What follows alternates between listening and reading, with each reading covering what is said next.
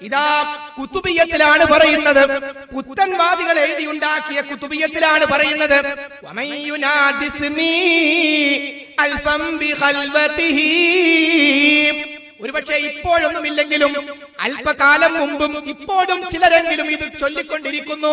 ഒരു വിഷമമുണ്ടായാൽ പ്രയാസമുണ്ടായാൽ ഒരു കുത്തുബിയത്തങ്ങ് നേർച്ചയാക്കുകയല്ലേ? ഇവർ അംഗീകരിക്കുന്ന കിതാബിൽ തന്നെ കുത്തുബിയത്തിന്റെ അർത്ഥം കൊടുത്തിട്ടുണ്ട്. എന്താ പറയുന്നത്? ഒരാൾ വിജന സ്ഥലത്ത് നിന്നും തന്റെ അശ്രദ്ധമായ ഉറക്കം വിച്ഛേദിച്ചുകൊണ്ടും മനഃശക്തി ഉറപ്പിച്ചുകൊണ്ടും എന്റെ തിരുനാമം കൊണ്ട് എന്നെ ആയിരം വട്ടം വിളിച്ചാൽ ആയിരം പ്രാവശ്യം വിളിച്ചാൽ എങ്ങനെയാ അശ്രദ്ധൊക്കെ ഒഴിവാക്കണം? ഉറക്കൊക്കെ അങ്ങോട്ട് ഒഴിവാക്കണം. മനസ്സ് ശരിക്കും അങ്ങോട്ട് ഉറപ്പിച്ചിട്ട് യാ ഷെയ്ഖ് മുഹീദ്ദീൻ അബ്ദുൽ ഖാദർ ജീലാനി എന്ന് ആയിരം വട്ടം വിളിച്ചാൽ അജബുതുഹു മുസ്രിയൻ മിൻ ദഅവതിഹി അവന്റെ വിളി കാരണത്താൽ ഞാൻ അവന് അതിശീഘ്രം ഉത്തരം നൽകും. പെട്ടെന്ന് എന്ത് ചെയ്യും? ഞാൻ അവന് ഉത്തരം നൽകും. ഇതാണ് കുത്തുബിയത്ത് പറഞ്ഞത്. ഇത് ജനങ്ങൾ ചെല്ലും. കാരണം എന്താ? സുന്നത്ത് മാസികയിലും റിസാലികയിലും ഒക്കെ പറയുന്നു മൊഹിദീൻ ഷെയ്ഖിന്റെ കറാമത്ത്. എന്താ കറാമത്ത് എന്നറിയാമോ ഷെയ്ഖ് ജീലാനി തന്നെ അദ്ദേഹവും ഒരു പാതിരിയും തമ്മിൽ ഒരു തർക്കണ്ടായി ഷേഖ് ജീലാനി പറഞ്ഞു ഞങ്ങളെ പ്രവാചകനാണ് ഉന്നതൻ. പാതിരി പറഞ്ഞു അല്ല യേശുദേവനാണ് ഉന്നതൻ. അങ്ങനെ വമ്പിച്ച തർക്കായി. അപ്പൊ ഷെയ്ഖ് പറഞ്ഞു എന്നൊരു കാര്യം ചെയ്യാ. വളരെ കൃത്യമായി അദ്ദേഹം തൻ പാതിരിയോട് പറഞ്ഞു നിങ്ങളുടെ നിങ്ങളുടെ യേശു മഹാനാണെന്ന് നിങ്ങൾ പറയാൻ കാരണം മരിച്ചാളെ ജീവിപ്പിച്ചോണ്ടല്ലേ? അത് അള്ളാന്റെ അനുമതിയോട് കൂടിയല്ലേ എന്നാൽ ഞാൻ മുഹമ്മദ് റസൂലുള്ളയുടെ സമൂഹത്തിലെ ഒരു അംഗം മാത്രമായ ഞാൻ മരിച്ച ആളെ അള്ളാഹുവിന്റെ അനുമതി ഇല്ലാതെ ജീവിപ്പിച്ചു തരാം എന്ന് ഷെയ്ഖ് അവർകൾ അദ്ദേഹത്തോട് പറഞ്ഞത്രേ. ഇത് ഷെയ്ഖിന്റെ പേരിൽ പുത്തൻവാദികൾ എഴുതി ഉണ്ടാക്കിയതാണ് അങ്ങനെ രണ്ടുപേരും മറവ് ചെയ്ത ഒരു വ്യക്തിയുടെ അടുത്തേക്ക് പോയി പാതിരി കാണിച്ചു കൊടുത്തതാ. ഈ മരിച്ച ആളെ ജീവിപ്പിക്കണം. ഉടനെ ജീലാനി പറഞ്ഞു യാ ഫുലാൻ ഹേ മനുഷ്യ എന്റെ അനുമതിയോടുകൂടി എഴുന്നേൽക്കണം എന്ന് പറഞ്ഞു. തൽസമയം കബർ പൊട്ടിപ്പിളർന്നു. അകത്തുള്ളയാൾ അകത്തുള്ളവൻ ജീലാനിക്കു നേരെ വന്നു. നോക്കൂ ഷെയ്ഖ് ജീലാനിന്റെ പ്രത്യേകത എന്താണ്? ഇത് ആയിരത്തി തൊള്ളായിരത്തി തൊണ്ണൂറ്റി രണ്ട് ഒക്ടോബർ ഒന്നിന് റിസാലയിലും പറഞ്ഞിട്ടുണ്ട് ഇത്. മഹാനായ മൊഹീദ്ദീൻ ഷെയ്ഖ് അള്ളാഹുവിന്റെ അനുമതി ഇല്ലാതെ ശരിക്കും മനസ്സിലാക്കണം.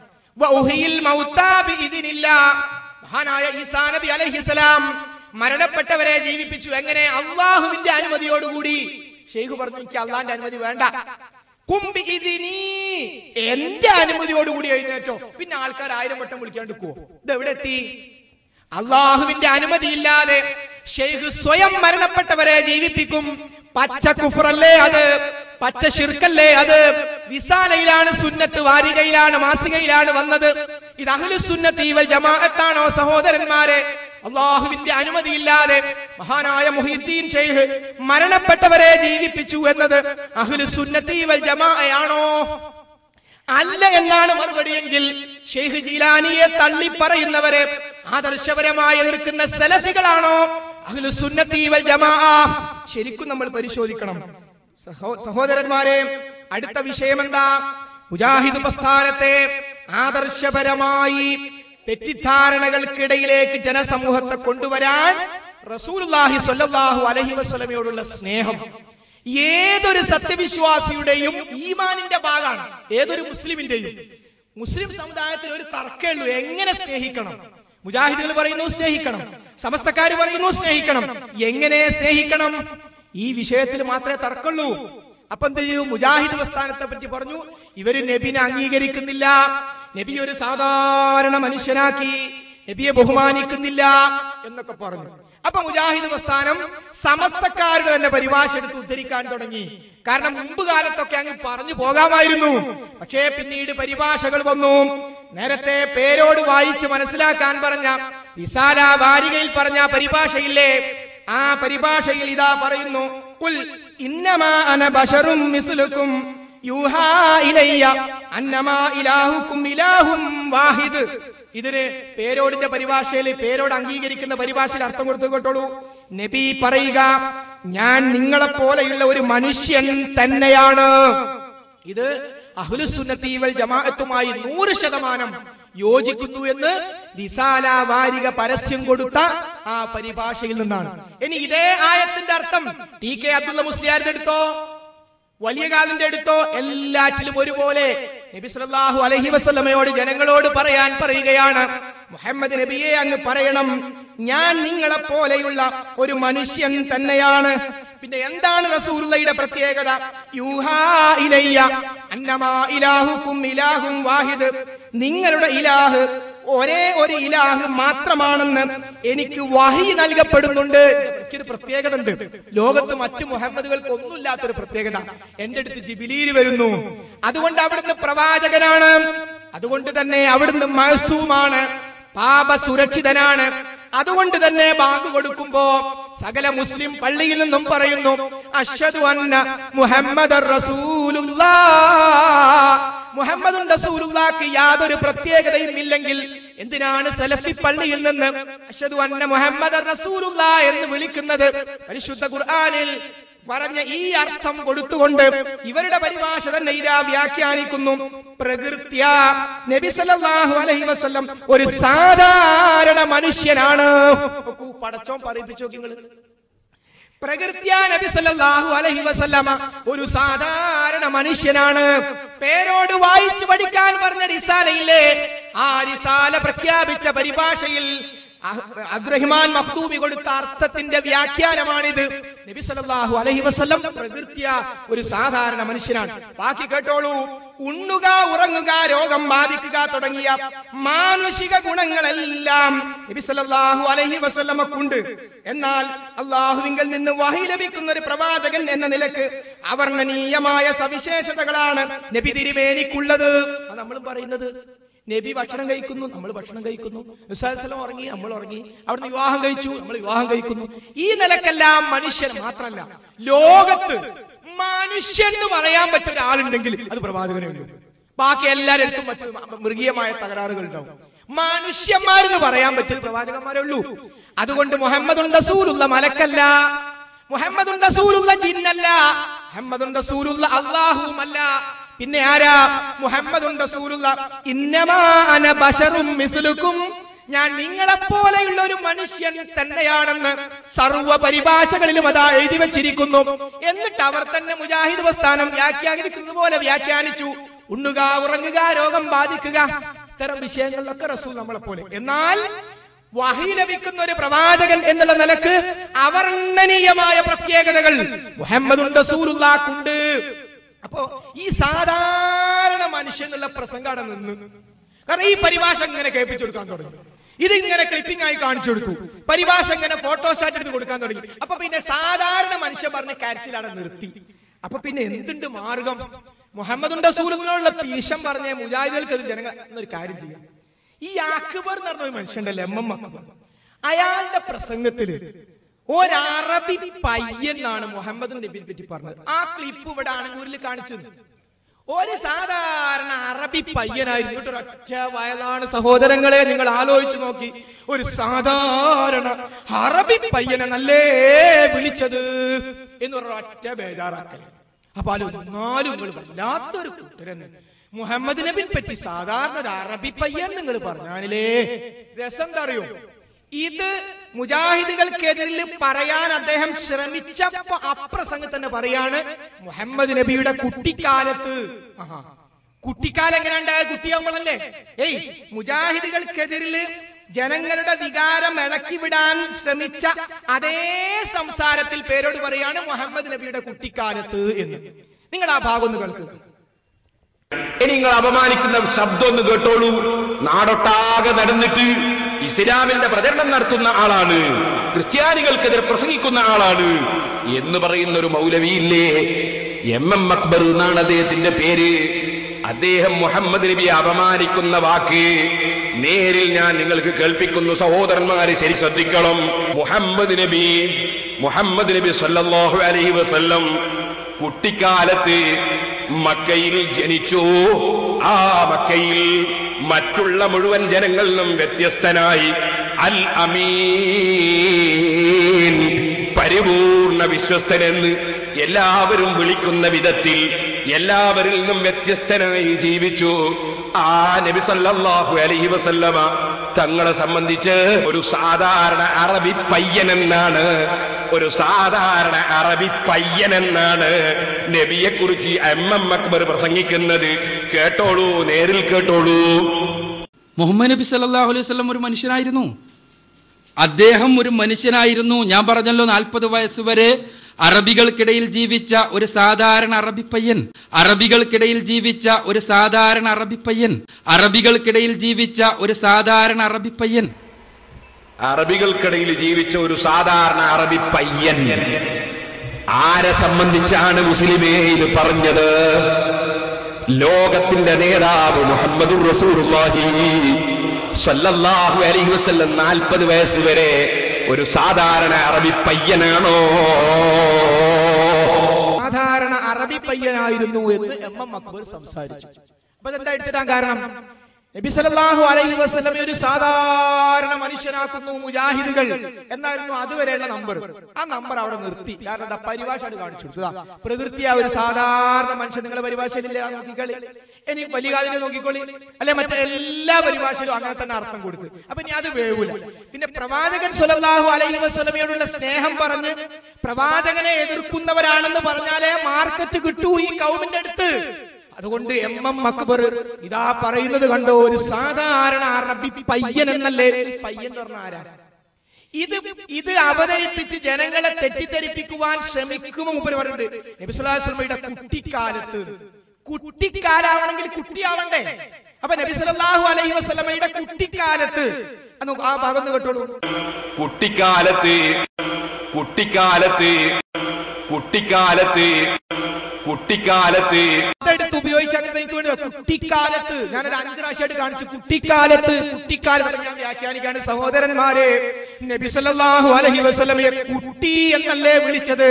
കാരണം കുട്ടിയാണെങ്കിലാണല്ലോ കുട്ടിക്കാലം ഉണ്ടാവുകയുള്ളൂ എന്നൊക്കെ പറഞ്ഞു അങ്ങനെ ഉണ്ടാവും. ഇതൊന്നും നമ്മൾ ഉപയോഗിക്കാൻ വിചാരിച്ചല്ല. പക്ഷെ വലിയൊരു പരിപാടി ശിഷ്യനെ അവതരിപ്പിച്ചത് ഉസ്താദിനെ വെച്ച് മറുപടി പറഞ്ഞാൽ പിന്നെ വേറൊന്നും പറയാനില്ലല്ലോ. അതുകൊണ്ട് ആ ശിഷ്യന്റെ ക്ലിപ്പിംഗ് ഒഴിവാക്കി ഉസ്താദൻ തന്നെ പിടിച്ചത്. മനസ്സിലായില്ലേ? കുട്ടിക്കാലത്ത് എന്ന് അദ്ദേഹം പറയുന്നു. ഇതൊക്കെ ഒരു നാട്ടിൽ വലിയൊരു സ്ക്രീനൊക്കെ സംഘടിപ്പിച്ചിട്ട് കണ്ടോ? അറബി പയ്യൻ എന്നല്ലേ പറഞ്ഞത് എന്ന് പറഞ്ഞിട്ട്. ഇനി സഹോദരന്മാരെ എനിക്ക് കേൾക്കണോ? നീ എന്ന്. ഇല്ല നിങ്ങൾ വിളിക്കുക. നമ്മളെക്കാളും പ്രായം കുറഞ്ഞ ആൾക്കാരെ പോലും പലരും നിങ്ങൾ വിളിക്കും ബഹുമാനത്തോടു കൂടി.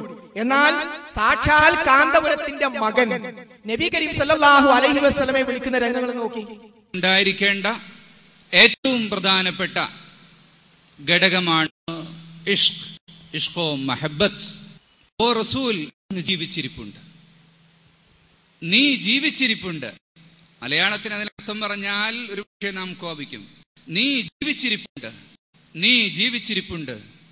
ഒരിക്കലും നീ മറഞ്ഞിട്ടില്ല. എന്റെ കൺമുന്നിൽ നിന്ന് മറഞ്ഞു എന്നല്ലാതെ എൻ ലോകത്തു നിന്ന് നീ വിട പറഞ്ഞിട്ട് നോക്കൂ മലയാളത്തിൽ അതിൽ അർത്ഥം പറഞ്ഞാൽ ഒരു പക്ഷേ നമ്മൾ കോപിക്കും. മനസ്സിലായി? അപ്പൊ അദ്ദേഹത്തിന് മനസ്സിലായി. ഇതേപോലെ എം എം അക്ബർ അദ്ദേഹത്തിന്റെ സംസാരത്തിൽ നബി കരീം സല്ലാഹു അലൈഹി വസ്ലം നാൽപ്പത് വയസ്സ് വരെ അദ്ദേഹം പ്രവാചകനല്ല. ഒരു അറബി പയ്യനായി ജീവിച്ചു കൊണ്ടിരിക്കുന്നു ആ മഹാനവറുകൾക്ക് നബി കരീം സല്ലല്ലാഹു അലൈഹി വസല്ലമക്ക് അള്ളാഹു സുബ്ഹാനഹു വ തആല വഹി കൊടുത്തു. അതോടുകൂടി ജനങ്ങൾക്ക് സത്യസന്ദേശം പറഞ്ഞു കൊടുക്കാൻ തുടങ്ങി. ഇതാ മുപ്പര് വിശദീകരിക്കുന്നത്. അതിന്റെ ഇടയ്ക്ക് ഒരു അറബി പയ്യ എന്നുള്ള പദം പിടിച്ചാൽ എനിക്ക് വേണമെങ്കിൽ കണ്ടോ? മഹാനായ റസൂലുള്ളാഹി സ്വല്ലല്ലാഹു അലൈഹി വസല്ലം നീ എന്നല്ലേ പിടിച്ചത്? മഹാനായ റസൂലുള്ളയെ കുറിച്ച് നീ എന്ന് നമ്മൾ വിളിക്കുമോ സഹോദരന്മാരെ? നമ്മുടെ സ്വന്തം ഉപ്പമാരെ നീ എന്ന് വിളിക്കാറുണ്ടോ? എനിക്ക് കരയിപ്പിക്കാനൊക്കെ പറ്റും. അപ്പൊ അതുകൊണ്ട് അത്തരം പദപ്രയോഗങ്ങൾ പിടിക്കല്ലാതെ രക്ഷല്ല. കാരണം ആദർശപരമായി മുജാഹിദ് പ്രസ്ഥാനത്തിന്റെ പ്രവാചക സ്നേഹത്തെ കുറിച്ച് ഒരക്ഷരം പറയാൻ സാധ്യമല്ല എന്ന് മനസ്സിലാക്കിയപ്പോഴാണ് ഇത്തരം ചില കാര്യങ്ങളുമായി ചില ആളുകൾ രംഗത്തിറങ്ങിയിട്ടുള്ളത്. മുജാഹിദ് പ്രസ്ഥാനം അഹ്ലുസുന്നത്തി വൽ ജമാഅത്തിന് വിരുദ്ധമായ യാതൊന്നും ഈ നാട്ടിൽ പറയുന്നില്ല. ഇവിടെ ക്ലിപ്പിംഗ് കാണിച്ച മറ്റൊരു വിഷയമാണ് നബി കരീം സല്ലല്ലാഹു അലൈഹി വസല്ലമയുടെ ഖബറിനെ കള്ളജാറം എന്നാണ് മുജാഹിദുകൾ പറയുന്നത് എന്ന്. അതിനുശേഷം നമുക്ക് മറ്റേ വിഷയത്തിലേക്ക് പോകാം. കള്ളജാറം എന്നാണ് മുജാഹിദ് പ്രസ്ഥാനം മുജാഹിദുകൾ നബി കരീം സല്ലാഹു അലഹി വസ്ലമയുടെ കബറിനെ കുറിച്ച് പറയുന്നത് എന്ന് പറഞ്ഞ് ജനങ്ങൾക്കിടയിൽ വികാരം ഇളക്കിവിടാൻ ശ്രമിക്കുകയാണ്. നമുക്കറിയാം മഹാനായ നബി കരീം സല്ലാഹു അലഹി വസ്ലമയുടെ കബർ ഈ പ്രാവശ്യം ഹജ്ജിന് പോയവർ മാത്രമല്ല ഹജ്ജിന് പോകുന്ന മുഴുവൻ സലഫികളും മദീനത്ത് പോകുന്ന സന്ദർഭത്തിൽ മഹാനായ റസൂറുള്ളയുടെ കബറിന്റെ അടുത്ത് പോകുന്നു. കബറിന്റെ അടുത്ത് പോയിക്കൊണ്ട് മഹാനായ റസൂറുള്ളക്ക് അസ്സലാമു അലൈക്കും യാ റസൂലല്ലാ. അള്ളാഹുവിന്റെ റസൂലെ അങ്ങേക്ക് അള്ളാഹുവിന്റെ രക്ഷയുണ്ടാകുമാറാകട്ടെ സമാധാനം ഉണ്ടാകുമാറാകട്ടെ എന്ന് റസൂലുള്ളാക്ക് വേണ്ടി പ്രാർത്ഥിക്കുന്നവരാണ് സലഫികൾ. ഖബർ സിയാറത്ത് ഇസ്ലാം പഠിപ്പിച്ച കാര്യമാണ്. മരണത്തെ കുറിച്ച് ഓർക്കുവാനും മരണപ്പെട്ടവർക്ക് വേണ്ടി പ്രാർത്ഥിക്കുവാനും കബറിന്റെ അടുത്ത് പോകണം. എന്നാൽ പുത്തൻവാദികളായ ആളുകൾ ഒരു തെറ്റായ കബർ സിയാറത്ത് ഇവിടെ ഉണ്ടാക്കി യഹൂദ ക്രൈസ്തവ സമൂഹം തുടങ്ങി വെക്കുകയും ഷിയാക്കളിലൂടെ പ്രചരിക്കുകയും ചെയ്ത ഒരു കബർ സിയാറത്ത്. ആ കബർ സിയാറത്തിന് തെളിവുണ്ടാക്കാൻ ഒരു മാർഗവും ഇല്ല. അപ്പൊ എന്താന്ന് ചെയ്തെന്നറിയോ? മുഹമ്മദ് നബിയുടെ കബറ് കണ്ടോ എന്ന് ചോദിച്ചുകൊണ്ട് കാണാ കാഴ്ചകൾ എന്ന് പറഞ്ഞിട്ട് ഒരു കളർ ഫോട്ടോയോടുകൂടി ലോകത്തുള്ള ജാറങ്ങളെല്ലാം ഒരു ബുക്കിലാക്കി. എന്നിട്ട് കണ്ടത് അതാ നബിന്റെ ജാറം.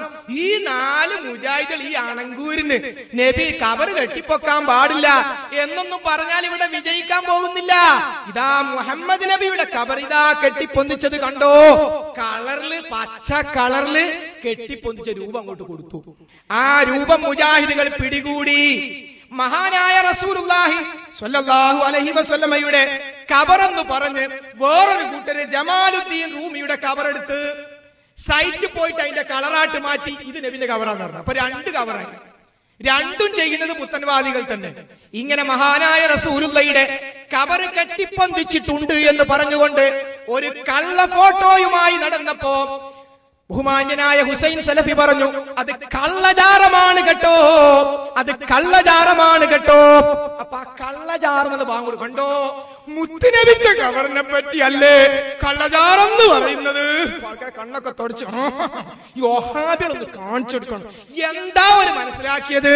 പക്ഷേ അത് പറഞ്ഞ ഹുസൈൻ സലഫി തന്നെ നാദാപുരത്തെ കൊണ്ട് ചെറിയ മെച്ചമല്ലല്ലോ മുജാഹിദ് പ്രസ്ഥാനത്തിലുള്ളത് നാദാപുരത്തുനിന്ന് ഈ വിഷയം പറഞ്ഞപ്പം ബഹുമാന്യനായ പേരോട് പറയാണ് നിങ്ങൾ ഇതിന്റെ സീഡിങ് കാണണം സലഫിന്റെ സീഡിങ് കാണണം. ഞാൻ കാര്യം മനസ്സിലാവും? അപ്പൊ സീഡ് രണ്ടു കൂട്ടർക്കും കാണല്ലേ? മാറ്റമാണത്. വല്ലാത്ത മാറ്റം. പരിപാടി ഏ നിങ്ങളെ സീഡി കാണാൻ പറ്റൂല. നിങ്ങളോട് സലാം പറയാൻ പറ്റൂല. എന്നൊക്കെ പറഞ്ഞ ആൾക്കാര് ഒരു നാലഞ്ച് പൂട്ട് നാദാവുന്നത് പൂട്ടിയപ്പോ കൂട്ടരെ സലഫിന്റെ സീഡിയും കാണണം. നിന്റെ സീഡിയും കാണണം. നാല് കാര്യം മനസ്സിലാകുമെന്നിടത്തെത്തി. ഇവിഷയത്തിൽ ബഹുമാന്യനായ ഹുസൈൻ സലഫിയെ കുറിച്ചാണല്ലോ ആരോപണം.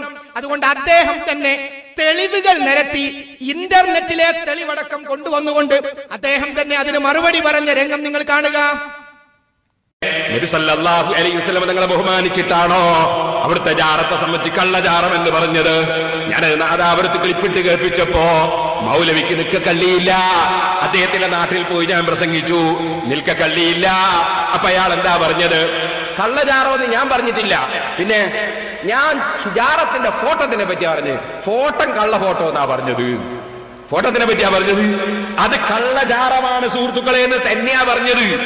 പക്ഷെ എന്ത് ചെയ്തു? നാദാപുരത്ത് ഞാൻ വെച്ച ക്ലിപ്പ് അത് കള്ളചാരമാണ് സുഹൃത്തുക്കളെ എന്ന് പറഞ്ഞ വാചകം കട്ടിട്ട് അദ്ദേഹം ജനങ്ങളെ കേൾപ്പിച്ചു. പോയി നിങ്ങളൊന്ന് പരിശോധിച്ച് നോക്ക്. എന്റെ സീഡിയും പരിശോധിക്കുക അയാളും പരിശോധിക്കുക അപ്പൊ നിങ്ങൾക്ക് മനസ്സിലാകും അത് കള്ളചാരമാണ് സുഹൃത്തുക്കളെ എന്ന് പറഞ്ഞ ഭാഗം കട്ടിട്ടാണ് അദ്ദേഹം അത് അവർക്ക് കേൾപ്പിച്ചത്. അതൊന്ന് വെച്ചു കൊടുത്താൽ മോനെ രണ്ടും കൂടി. ഞാൻ പറഞ്ഞിട്ടില്ല എന്ന് പറയുന്നതും പറഞ്ഞതും. രണ്ടും കൂടി ഒന്ന് വെച്ചു കൊടുത്താൽ രണ്ടാഴ്ച കൊണ്ട് അവിടെ രണ്ടാഴ്ച ഞാൻ മതിയും പോയപ്പോൾ കണ്ടു. എന്താ കണ്ടത്? അവിടെ എഴുതി വെച്ചിരിക്കും ചെറിയ നബിസല്ലാഹു അലൈഹി സ്വലമിന്റെ കബറിന്റെ വീട്. വരുമ്പോ ഒരു കള്ള ജാറ തന്നെ ഫോട്ടോ കിടക്കുന്നു എന്താ? വലിയൊരു ജാറം വലിയൊരു ജാറത്തിന്റെ മേലെ ഒരു പച്ച പച്ചവും ആ രൂപത്തിലുള്ള കുറെ ആചാരങ്ങൾ. അത് ഫോട്ടോ വിറ്റിട്ട് വീട്ടിൽ ബർക്കത്തിന് വേണ്ടി തൂക്കുന്ന ഒരു ഇടപാട് നടത്തുന്നുണ്ട് അത് കള്ള ജാറമാണ് സുഹൃത്തുക്കളെ. രണ്ടാഴ്ച കൊണ്ട് അവിടെ രണ്ടാഴ്ച കൊണ്ട് ഞാൻ മദ്യം പോയപ്പോൾ കണ്ടു. എന്താ കണ്ടത്? അവിടെ എഴുതി വെച്ചിരിക്കും ചെറിയ നബിസല്ലാഹു അലൈഹി സ്വലമിന്റെ കബറിന്റെ വീട്. വരുമ്പോ ഒരു കള്ള ജാറ തമ്മിൽ ഫോട്ടോ കൊണ്ട് കിടക്കുന്നു വരുമ്പോ ഒരു കള്ള ജാറ തമ്മിൽ ഫോട്ടോ കൊണ്ട് കിടക്കുന്നു വരുമ്പോ കള്ള ജാറ തമ്മിൽ ഫോട്ടോ കൊണ്ട് കിടക്കുന്നു വരുമ്പോ കള്ള ഫോട്ടോ കൊണ്ട് എന്താ? വലിയൊരു ജാറം വലിയൊരു ജാറത്തിന്റെ പച്ച പച്ചും ജാറത്തെ. ആ രൂപത്തിലുള്ള കുറെ ആചാരങ്ങൾ അത് ഫോട്ടോ വിറ്റിട്ട് വീട്ടിൽ ബർക്കത്തിന് വേണ്ടി തൂക്കുന്ന ഒരു ഇടപാട് നടത്തുന്നുണ്ട്. അത് കള്ള ജാറമാണ് സുഹൃത്തുക്കളെ. അത് ഫോട്ടോ വിറ്റിട്ട് വീട്ടിൽ ബർക്കത്തിന് വേണ്ടി തൂക്കുന്ന ഒരു ഇടപാട് നടത്തുന്നുണ്ട്. അത് കള്ള ജാറമാണ് സുഹൃത്തുക്കളെ. അത് ഫോട്ടോ വിറ്റിട്ട് വീട്ടിൽ ബർക്കത്തിന് വേണ്ടി തൂക്കുന്ന ഒരു ഇടപാട് നടത്തുന്നുണ്ട്. അത് കള്ള സുഹൃത്തുക്കൾ ഇവരുണ്ടാക്കിയ കബറുകളെ നിങ്ങൾ കേട്ടിട്ടില്ലേ? ഇവരുണ്ടാക്കിയ കബറുകളെ തന്നെ വ്യത്യസ്തങ്ങളായ നിലയ്ക്ക് ഇവർ കബറുകളെ ഇന്ന് ചിത്രീകരിച്ചു കൊണ്ടിരിക്കുന്നു. കാണാ കാഴ്ചകൾ എന്ന് പറയുന്ന പുസ്തകത്തിൽ അവരൊരു കബർ പരിചയപ്പെടുത്തുന്നുണ്ട്. അതേപോലെ തന്നെ പല സ്ഥലങ്ങളിലും അവരിത് തൂക്കിയിടുന്നുമുണ്ട്. അതാണ് ഇപ്പൊ നിങ്ങൾ സ്ക്രീനിൽ കണ്ടുകൊണ്ടിരിക്കുന്നത്. കാണാ കാഴ്ചകൾ എന്ന് പറയുന്ന ഒരു പുസ്തകം ഇവരിറക്കിയിട്ടുണ്ട് അതിൽ കാണുന്ന ജാറമാണ് ഇപ്പോൾ നിങ്ങൾ കാണുന്നത്. കണ്ടോ? ശ്രദ്ധിച്ചു നോക്കിക്കോളണം ഇവർക്ക് എത്ര ജാറത്തിന്റെ ഫോട്ടോ വരെ കയ്യിൽ നിങ്ങൾ മനസ്സിലാക്കിക്കോ? ഈ ജാറം വ്യാജമല്ലേ? നബി സല്ലല്ലാഹു അലൈസല്ലമിന്റെ റൂമിൽ കടന്നിട്ട് ഫോട്ടോ അല്ല ഇത്. ഇവർ വരച്ചുണ്ടാക്കി കമ്പ്യൂട്ടറിൽ ടിപ്പണി നടത്തിയതാണ്. കൈക്രിയ നടത്തിക്കൊണ്ട് ഇവരുണ്ടാക്കിയ ഒരു ജാറമാണിത്. നോക്കണം ഇങ്ങനൊരു ജാറല്ല. ഇതാണ് അവരുണ്ടാക്കിയത്. ഇത് അഷറഫുൽ ഹൽക്ക് മുഹമ്മദ്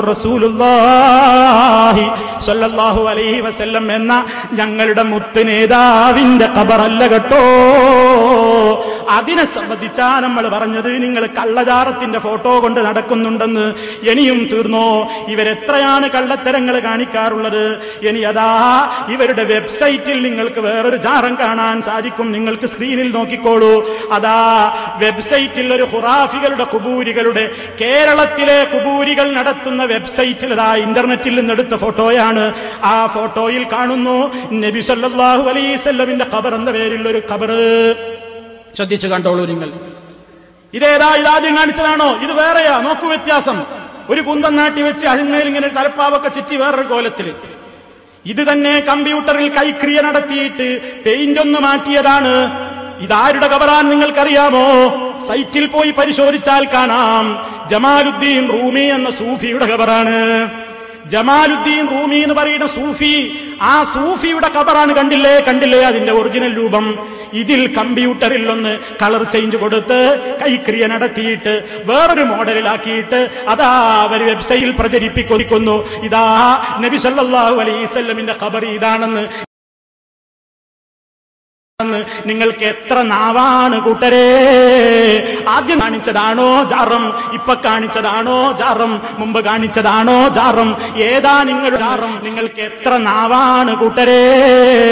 ആദ്യം കാണിച്ചതാണോ ജാറം ഇപ്പൊ കാണിച്ചതാണോ ജാറം മുമ്പ് കാണിച്ചതാണോ ജാറം ഏതാ നിങ്ങൾ ജാറം നിങ്ങൾക്ക് എത്ര നാവാണ് കൂട്ടരേ? ആദ്യം കാണിച്ചതാണോ ജാറം ഇപ്പൊ കാണിച്ചതാണോ ജാറം മുമ്പ് കാണിച്ചതാണോ ജാറം ഏതാ നിങ്ങളുടെ ജാറം. ഇത് രണ്ടും നബി കരീം സല്ലല്ലാഹു അലൈഹി വസല്ലമയുടെ കബറല്ല ഇങ്ങനെ ഇവിടെ കാണിച്ച ആ പച്ച കളറുള്ള നബി കരീം സല്ലല്ലാഹു അലൈഹി വസല്ലമയുടെ പേരിൽ കള്ളമാക്കി ഉണ്ടാക്കിയ ഒരു ജാറം കാണാ കാഴ്ചകൾ എന്ന പുസ്തകത്തിൽ ഉണ്ടോ ഇല്ലേ? അത് പരിശോധിച്ചാൽ മതിയല്ലോ. അതോ രണ്ടാമത് കാണിച്ചതാണോ? ഹുസൈൻ സലഫിയുടെ ചോദ്യത്തിന് മറുപടി പറയാൻ പറ്റില്ലെങ്കിൽ ഈ ഭാഗം മറച്ചു വെച്ച് വീണ്ടും ഹുസൈൻ സലഫി പറഞ്ഞിരിക്കുന്നു. നബി സല്ലല്ലാഹു അലൈഹി വസല്ലമയുടെ കബറിനെ കുറിച്ച് കള്ളജാറം എന്നാണ് പറഞ്ഞത്. മഹാനായ നബി കരീം സല്ലല്ലാഹു അലൈഹി വസല്ലമയുടെ കബറിനെ കുറിച്ച് കള്ളചാറമെന്ന് പറയാൻ ഒരു മുഅ്മിനീന്റെയും നാവ് പൊന്തുകയില്ല. മറിച്ച് നബി കരീം സല്ലല്ലാഹു അലൈഹി വസല്ലമയുടെ പേരിൽ കള്ളം ചുമത്തുകയും നബി കരീം സല്ലല്ലാഹു അലൈഹി വസല്ലമയുടെ കബറല്ലാത്ത കബറിനെ കാണിച്ച് അത് കെട്ടിപ്പൊന്തിച്ചതാക്കി അവതരിപ്പിച്ച് നാട്ടിൽ നടക്കുന്ന സകല ഉറൂസ് മഹാമഹങ്ങളും അത് തന്നെ എന്ന് തെളിയിക്കുവാനുള്ള ശ്രമമല്ലേ ഇത്? ഇവിടെ സഹോദരങ്ങളെ ചിന്തിക്കണം ഈമാനുള്ളവരെ ചിന്തിക്കണം ഈ ചോദ്യത്തിന്റെ പിന്നാലെ പോകണം. ജാറങ്ങളിലേക്ക് പോകാൻ പറയുന്നവരോട് കാണാ കാഴ്ചകൾ എന്ന പുസ്തകം ഒന്ന് കാണട്ടെ. അതിലെ ആ ജാറം അത് മുഹമ്മദ് അലൈഹി വസല്ലമയുടെ കബറല്ലെന്നല്ലേ ഇവിടെ പറഞ്ഞത്? നിങ്ങളൊന്ന് തെളിയിക്കണമെന്ന്. കബറുകൾ കെട്ടിപ്പൊക്കലാണ്. അഖിലുസുന്നീവൽ വൽ ജമാഅ എന്ന് പറയുന്നവരോട് ചോദിച്ച് മനസ്സിലാക്കാൻ ജനങ്ങൾ മുന്നോട്ട് വന്നു. അതുകൊണ്ടല്ലേ മുജാഹിദ് പ്രസ്ഥാനം? ആ പ്രസ്ഥാനം ആദർശപരമായി അതിലേക്ക് ജനങ്ങൾ വന്നുകൊണ്ടിരിക്കുന്നത് ചിന്തയെ തടഞ്ഞു നിർത്താൻ സാധ്യമല്ല. ബുദ്ധിയെ തടഞ്ഞു നിർത്താൻ സാധ്യമല്ല. പ്രമാണങ്ങളുടെ അടിസ്ഥാനത്തിൽ കാര്യങ്ങൾ മനസ്സിലാക്കുമ്പോൾ ആ കാര്യം നമുക്ക് ബോധ്യപ്പെടും സഹോദരന്മാരെ. മാത്രമല്ല മറ്റൊരു കാര്യം കൂടി നമ്മൾ മനസ്സിലാക്കണം. ഈ ജാറങ്ങളിലേക്ക് പോകാൻ എന്തിനാ പറയുന്നത്? അതും ഞാൻ നേരത്തെ പറഞ്ഞതുപോലെ ബഹുമാന്യരായ ക്രൈസ്തവരുടെ വിശ്വാസവുമായി ബന്ധപ്പെട്ട കാര്യമാണ്. നബി കരീം സല്ലല്ലാഹു അലൈഹി വസല്ലം അവിടുന്ന് പഠിപ്പിച്ചല്ലോ. അവസാന നാളുകളിൽ പഠിപ്പിച്ചല്ലോ. യഹൂദികളെയും ക്രിസ്ത്യാനികളെയും അള്ളാഹു ശപിച്ചിരിക്കുന്നു. യഹൂദികളെയും ക്രിസ്ത്യാനികളെയും അള്ളാഹു ശപിച്ചിരിക്കുന്നു. അവർ അവരുടെ പ്രവാചകന്മാരുടെ കബറുകളെ ആരാധനാ കേന്ദ്രങ്ങളാക്കി മാറ്റി. എന്റെ കബറിനെ നിങ്ങൾ ഈദിന്റെ സ്ഥലമാക്കി മാറ്റരുത്. ഉത്സവത്തിന്റെ ഉറുദുവിൽ പറഞ്ഞാൽ ഉറൂസിന്റെ സ്ഥലമാക്കി മാറ്റരുത് എന്ന് മുത്തു മുഹമ്മദ് മുസ്തഫ നബി കരീം സല്ലല്ലാഹു അലൈഹി വസല്ലമയുടെ വസിയത്തല്ലേ? ഇങ്ങനെ കബറുകൾ കെട്ടിപ്പന്തിച്ച് ക്രൈസ്തവർ കബറുകൾക്ക് സമീപത്തേക്ക് പോയപ്പോൾ അവരുടെ വിശ്വാസം എന്തായിരുന്നു? വർഷങ്ങൾക്ക് മുമ്പ് മാർപ്പാപ്പ മരിച്ചപ്പോൾ നമ്മൾ അത് വായിച്ചില്ലേ? മാർപ്പാപ്പയുടെ കബറത്തിലേക്ക് ആയിരങ്ങൾ രാഷ്ട്രദീപികയിൽ വായിച്ചില്ലേ? മാതൃഭൂമിയിൽ വായിച്ചില്ലേ? മാർപ്പാപ്പയുടെ കബറിടത്തിലേക്ക് ആയിരങ്ങൾ അവരോട് മാധ്യമ പ്രവർത്തകർ ചോദിച്ചു നിങ്ങൾ എന്തിനാണ് ഇവിടെ വന്നത് അവരുടെ മറുപടി? ഞങ്ങൾക്ക് മാർപ്പാപ്പയുടെ മാധ്യസ്ഥം കിട്ടാൻ. ഞങ്ങളെ വിഷമങ്ങളും പ്രയാസങ്ങളും ഞങ്ങൾ മാർപ്പാപ്പയോട് പറയും. മാർപ്പാപ്പ അത് പറയും. ഇതാണ് അവരുടെ വിശ്വാസം അല്ലാതെ മാർപ്പാപ്പ പടച്ചോനാണ് അല്ല മാർപ്പാപ്പ കുട്ടിയെ തരുമെന്നല്ല. മാർപ്പാപ്പ അത് പടച്ചോരോട് പറഞ്ഞ് സാധിപ്പിച്ചു തരുമെന്നല്ലേ? ഇന്നത്തെ പത്രങ്ങൾ ശ്രദ്ധിച്ചില്ലേ? ഇന്നത്തെ മനോരമയാണിത്. അൽഫോൻസാമ വിശുദ്ധ. പ്രഖ്യാപനം ഒക്ടോബർ പന്ത്രണ്ടിന്. ഇന്നത്തെ മനോരമയാണ് സഹോദരന്മാര്. സകല പത്രങ്ങളിലും ഈ വാർത്ത കാണാം. നോക്കൂ ഇതിൽ അവരുടെ വിശ്വാസം പറയുന്നു. വിശുദ്ധയാകുന്നതോടെ ലോകമെങ്ങും വിശ്വാസികൾ ദൈവാനുഗ്രഹത്തിനായി അൽഫോൻസാമ്മയുടെ മാധ്യസ്ഥം തേടും. അള്ളാഹുവിന്റെ അനുഗ്രഹം കിട്ടാൻ ലോകത്തുള്ള ക്രൈസ്തവരൊക്കെയും അൽഫോൻസാമ്മയുടെ മാധ്യസ്ഥം തേടും. അപ്പോൾ കബർ പൂജകരുടെ വിശ്വാസം എന്താ? അൽഫോ അൽഫോൻസാമ്മ പടച്ചോനാണ് നല്ല പടച്ചോനോട് അൽഫോൻസാമ്മയോട് കാര്യം പറഞ്ഞാൽ അൽഫോൻസാമ്മ പടച്ചോനോട് പറഞ്ഞ് സാധിപ്പിച്ചു തരും. ഇതിനെ കുറിച്ചാണ് റസൂലുള്ള പറഞ്ഞത്. യഹൂദ. യഹൂദികളെയും ക്രിസ്ത്യാനികളെയും അള്ളാഹു ശപിച്ചിരിക്കുന്നു. ആ രണ്ട് വിഭാഗത്തോട് റസൂലുള്ളക്ക് വ്യക്തിപരമായ ഒരു വിദ്വേഷവും ഇല്ല. മഹാനായ റസൂലുള്ളയുടെ പടയെങ്കി ജൂതന്റെ വീട്ടിൽ പണയത്തിലായിരുന്നു. അത്രയും നല്ല അയൽപക്ക ബന്ധമല്ലേ അവർക്കുള്ളത്? മഹാനായ റസൂലുള്ള ജൂതന്റെ ജഡശരീരം കൊണ്ടുപോകുമ്പോൾ എഴുന്നേറ്റ് നിൽക്കുന്നു. അതൊരു ജൂതന്റേതല്ലേ എന്ന ചോദ്യത്തിന് മറുപടി ജൂതനാണെങ്കിലും അതൊരു മനുഷ്യനല്ലേ? അത്രയും പ്രതിപക്ഷ ബഹുമാനം കാണിച്ച ജൂത ക്രൈസ്തവ സമൂഹങ്ങളോട് അതിരറ്റ സ്നേഹം കാണിച്ച റസൂലുള്ള ആശയത്തിന്റെ പേരിലല്ലേ അവർ ശപിക്കപ്പെട്ടിരിക്കുന്നു എന്ന് പറഞ്ഞത്? ഇനി സഹോദരന്മാരെ നമ്മുടെ നാട്ടിലുള്ള ജാരങ്ങളിലേക്ക് ജനങ്ങൾ പോകുമ്പോ എന്താണ് ന്യായീകരണം? ഒരു പടച്ചോനൊന്നും അല്ല. പിന്നെ ഓരൊക്കെ മഹാന്മാരല്ലേ? ഓരോട് നമ്മൾ പറഞ്ഞ് ഒരു പടച്ചോനോട് പറയല്ലേ? ഉദാഹരണവും നമ്മൾ മുഖ്യമന്ത്രിനെ കാണണമെങ്കിൽ എം എൽ എയെ പിടിക്കൂലേ? എസ് പിനെ കാണണമെങ്കിൽ നേതാവിനെ പിടിക്കൂലേ? അതേപോലെ മാധ്യസ്ഥം തേടുകയാണ്. മനോരമയൊന്ന് വായിച്ചു നോക്കണം. മാർപ്പാപ്പയുടെ വാർത്തയൊന്ന് വായിച്ചു നോക്കണം. എന്നിട്ട് മുഹമ്മദ് ഒന്ന് വായിച്ചു നോക്കണം. അപ്പോൾ ഇസ്ലാമിലേക്ക് കടന്നു വന്ന പുത്തൻ ആചാരമാണ് കബറുകൾ കെട്ടിപ്പൊന്തിക്കുക എന്നുള്ളത്. മഹാനായ റസൂലുള്ളയുടെ തിരുഹദീസ് ഉദ്ധരിച്ചുകൊണ്ട് മുജാഹിദ് പ്രസ്ഥാനം ജാറങ്ങളെ തകർക്കാൻ തുടങ്ങി. മുജാഹിദ് പ്രസ്ഥാനം ജാറങ്ങളെ തകർക്കാൻ തുടങ്ങി. ഇനി ജാറങ്ങളെ തകർക്കാൻ തുടങ്ങി എന്ന വാക്ക് മാത്രം ക്ലിപ്പിംഗ് എടുത്ത് ആരും ഉപയോഗിക്കേണ്ട മറിച്ച് ജാറങ്ങളെ തകർത്തത് എങ്ങനെ? പിക്കാസ് ഉപയോഗിച്ചല്ല ബോംബ് ഉപയോഗിച്ചല്ല. മറിച്ച് മുജാഹിദ് പ്രസ്ഥാനം ജനങ്ങളെ ഒരുമിച്ച് ചേർത്തു. എന്നിട്ട് ജനങ്ങളോട് പറഞ്ഞു ജനങ്ങളെ ഇത് ഖുർആാനിനെതിരാണ്. ആയത്ത് പിടിച്ചോ. ഇത് ഹദീസിനെതിരാണ്. തിരുവചനം പിടിച്ചോ. അങ്ങനെ മനുഷ്യർക്ക് മനസ്സിലായി കബർ സിയാറത്താണ് ജമാഅത്തിലുള്ളത്. കബർ കെട്ടിപ്പൊന്തിക്കലോ അത് പുത്തൻ വാദമാണ്. ജനങ്ങൾ സലഫി നഗരിയിലേക്ക് ഒരുങ്ങാൻ തുടങ്ങി. ജനങ്ങൾ സലഫി പള്ളികൾ തേടി പോകാൻ തുടങ്ങി. ജനങ്ങൾ ഖുർആൻ ക്ലാസുകളിലേക്ക് പോകാൻ തുടങ്ങി. അപ്പൊ പിന്നെ ബേജാറായി. എന്നാ പിന്നെ ഒരു ബുക്ക് നെറ്റ് അട്ടടിച്ച അച്ചടിച്ചാൾ കാണാ കാഴ്ചകൾ. കണ്ടോ? നബിന്റെ കവറ് കണ്ടോ? അങ്ങനെ കാണണ്ട. അത് നബിന്റെ കവറും അല്ല എന്ന് കയ്യോടെ പിടിച്ച് മുജാഹിദ് സമൂഹം ഈ ജനങ്ങൾക്ക് മനസ്സിലാക്കി. എന്തേ ഇന്റർനെറ്റ് ഇപ്പൊ കാണാത്തത്? എന്തേ ഇന്റർനെറ്റിലെ ജമാലുദ്ദീൻ റൂമിയുടെ ആ കവറ്? എന്തേ ഇപ്പൊ കാണാത്തത്?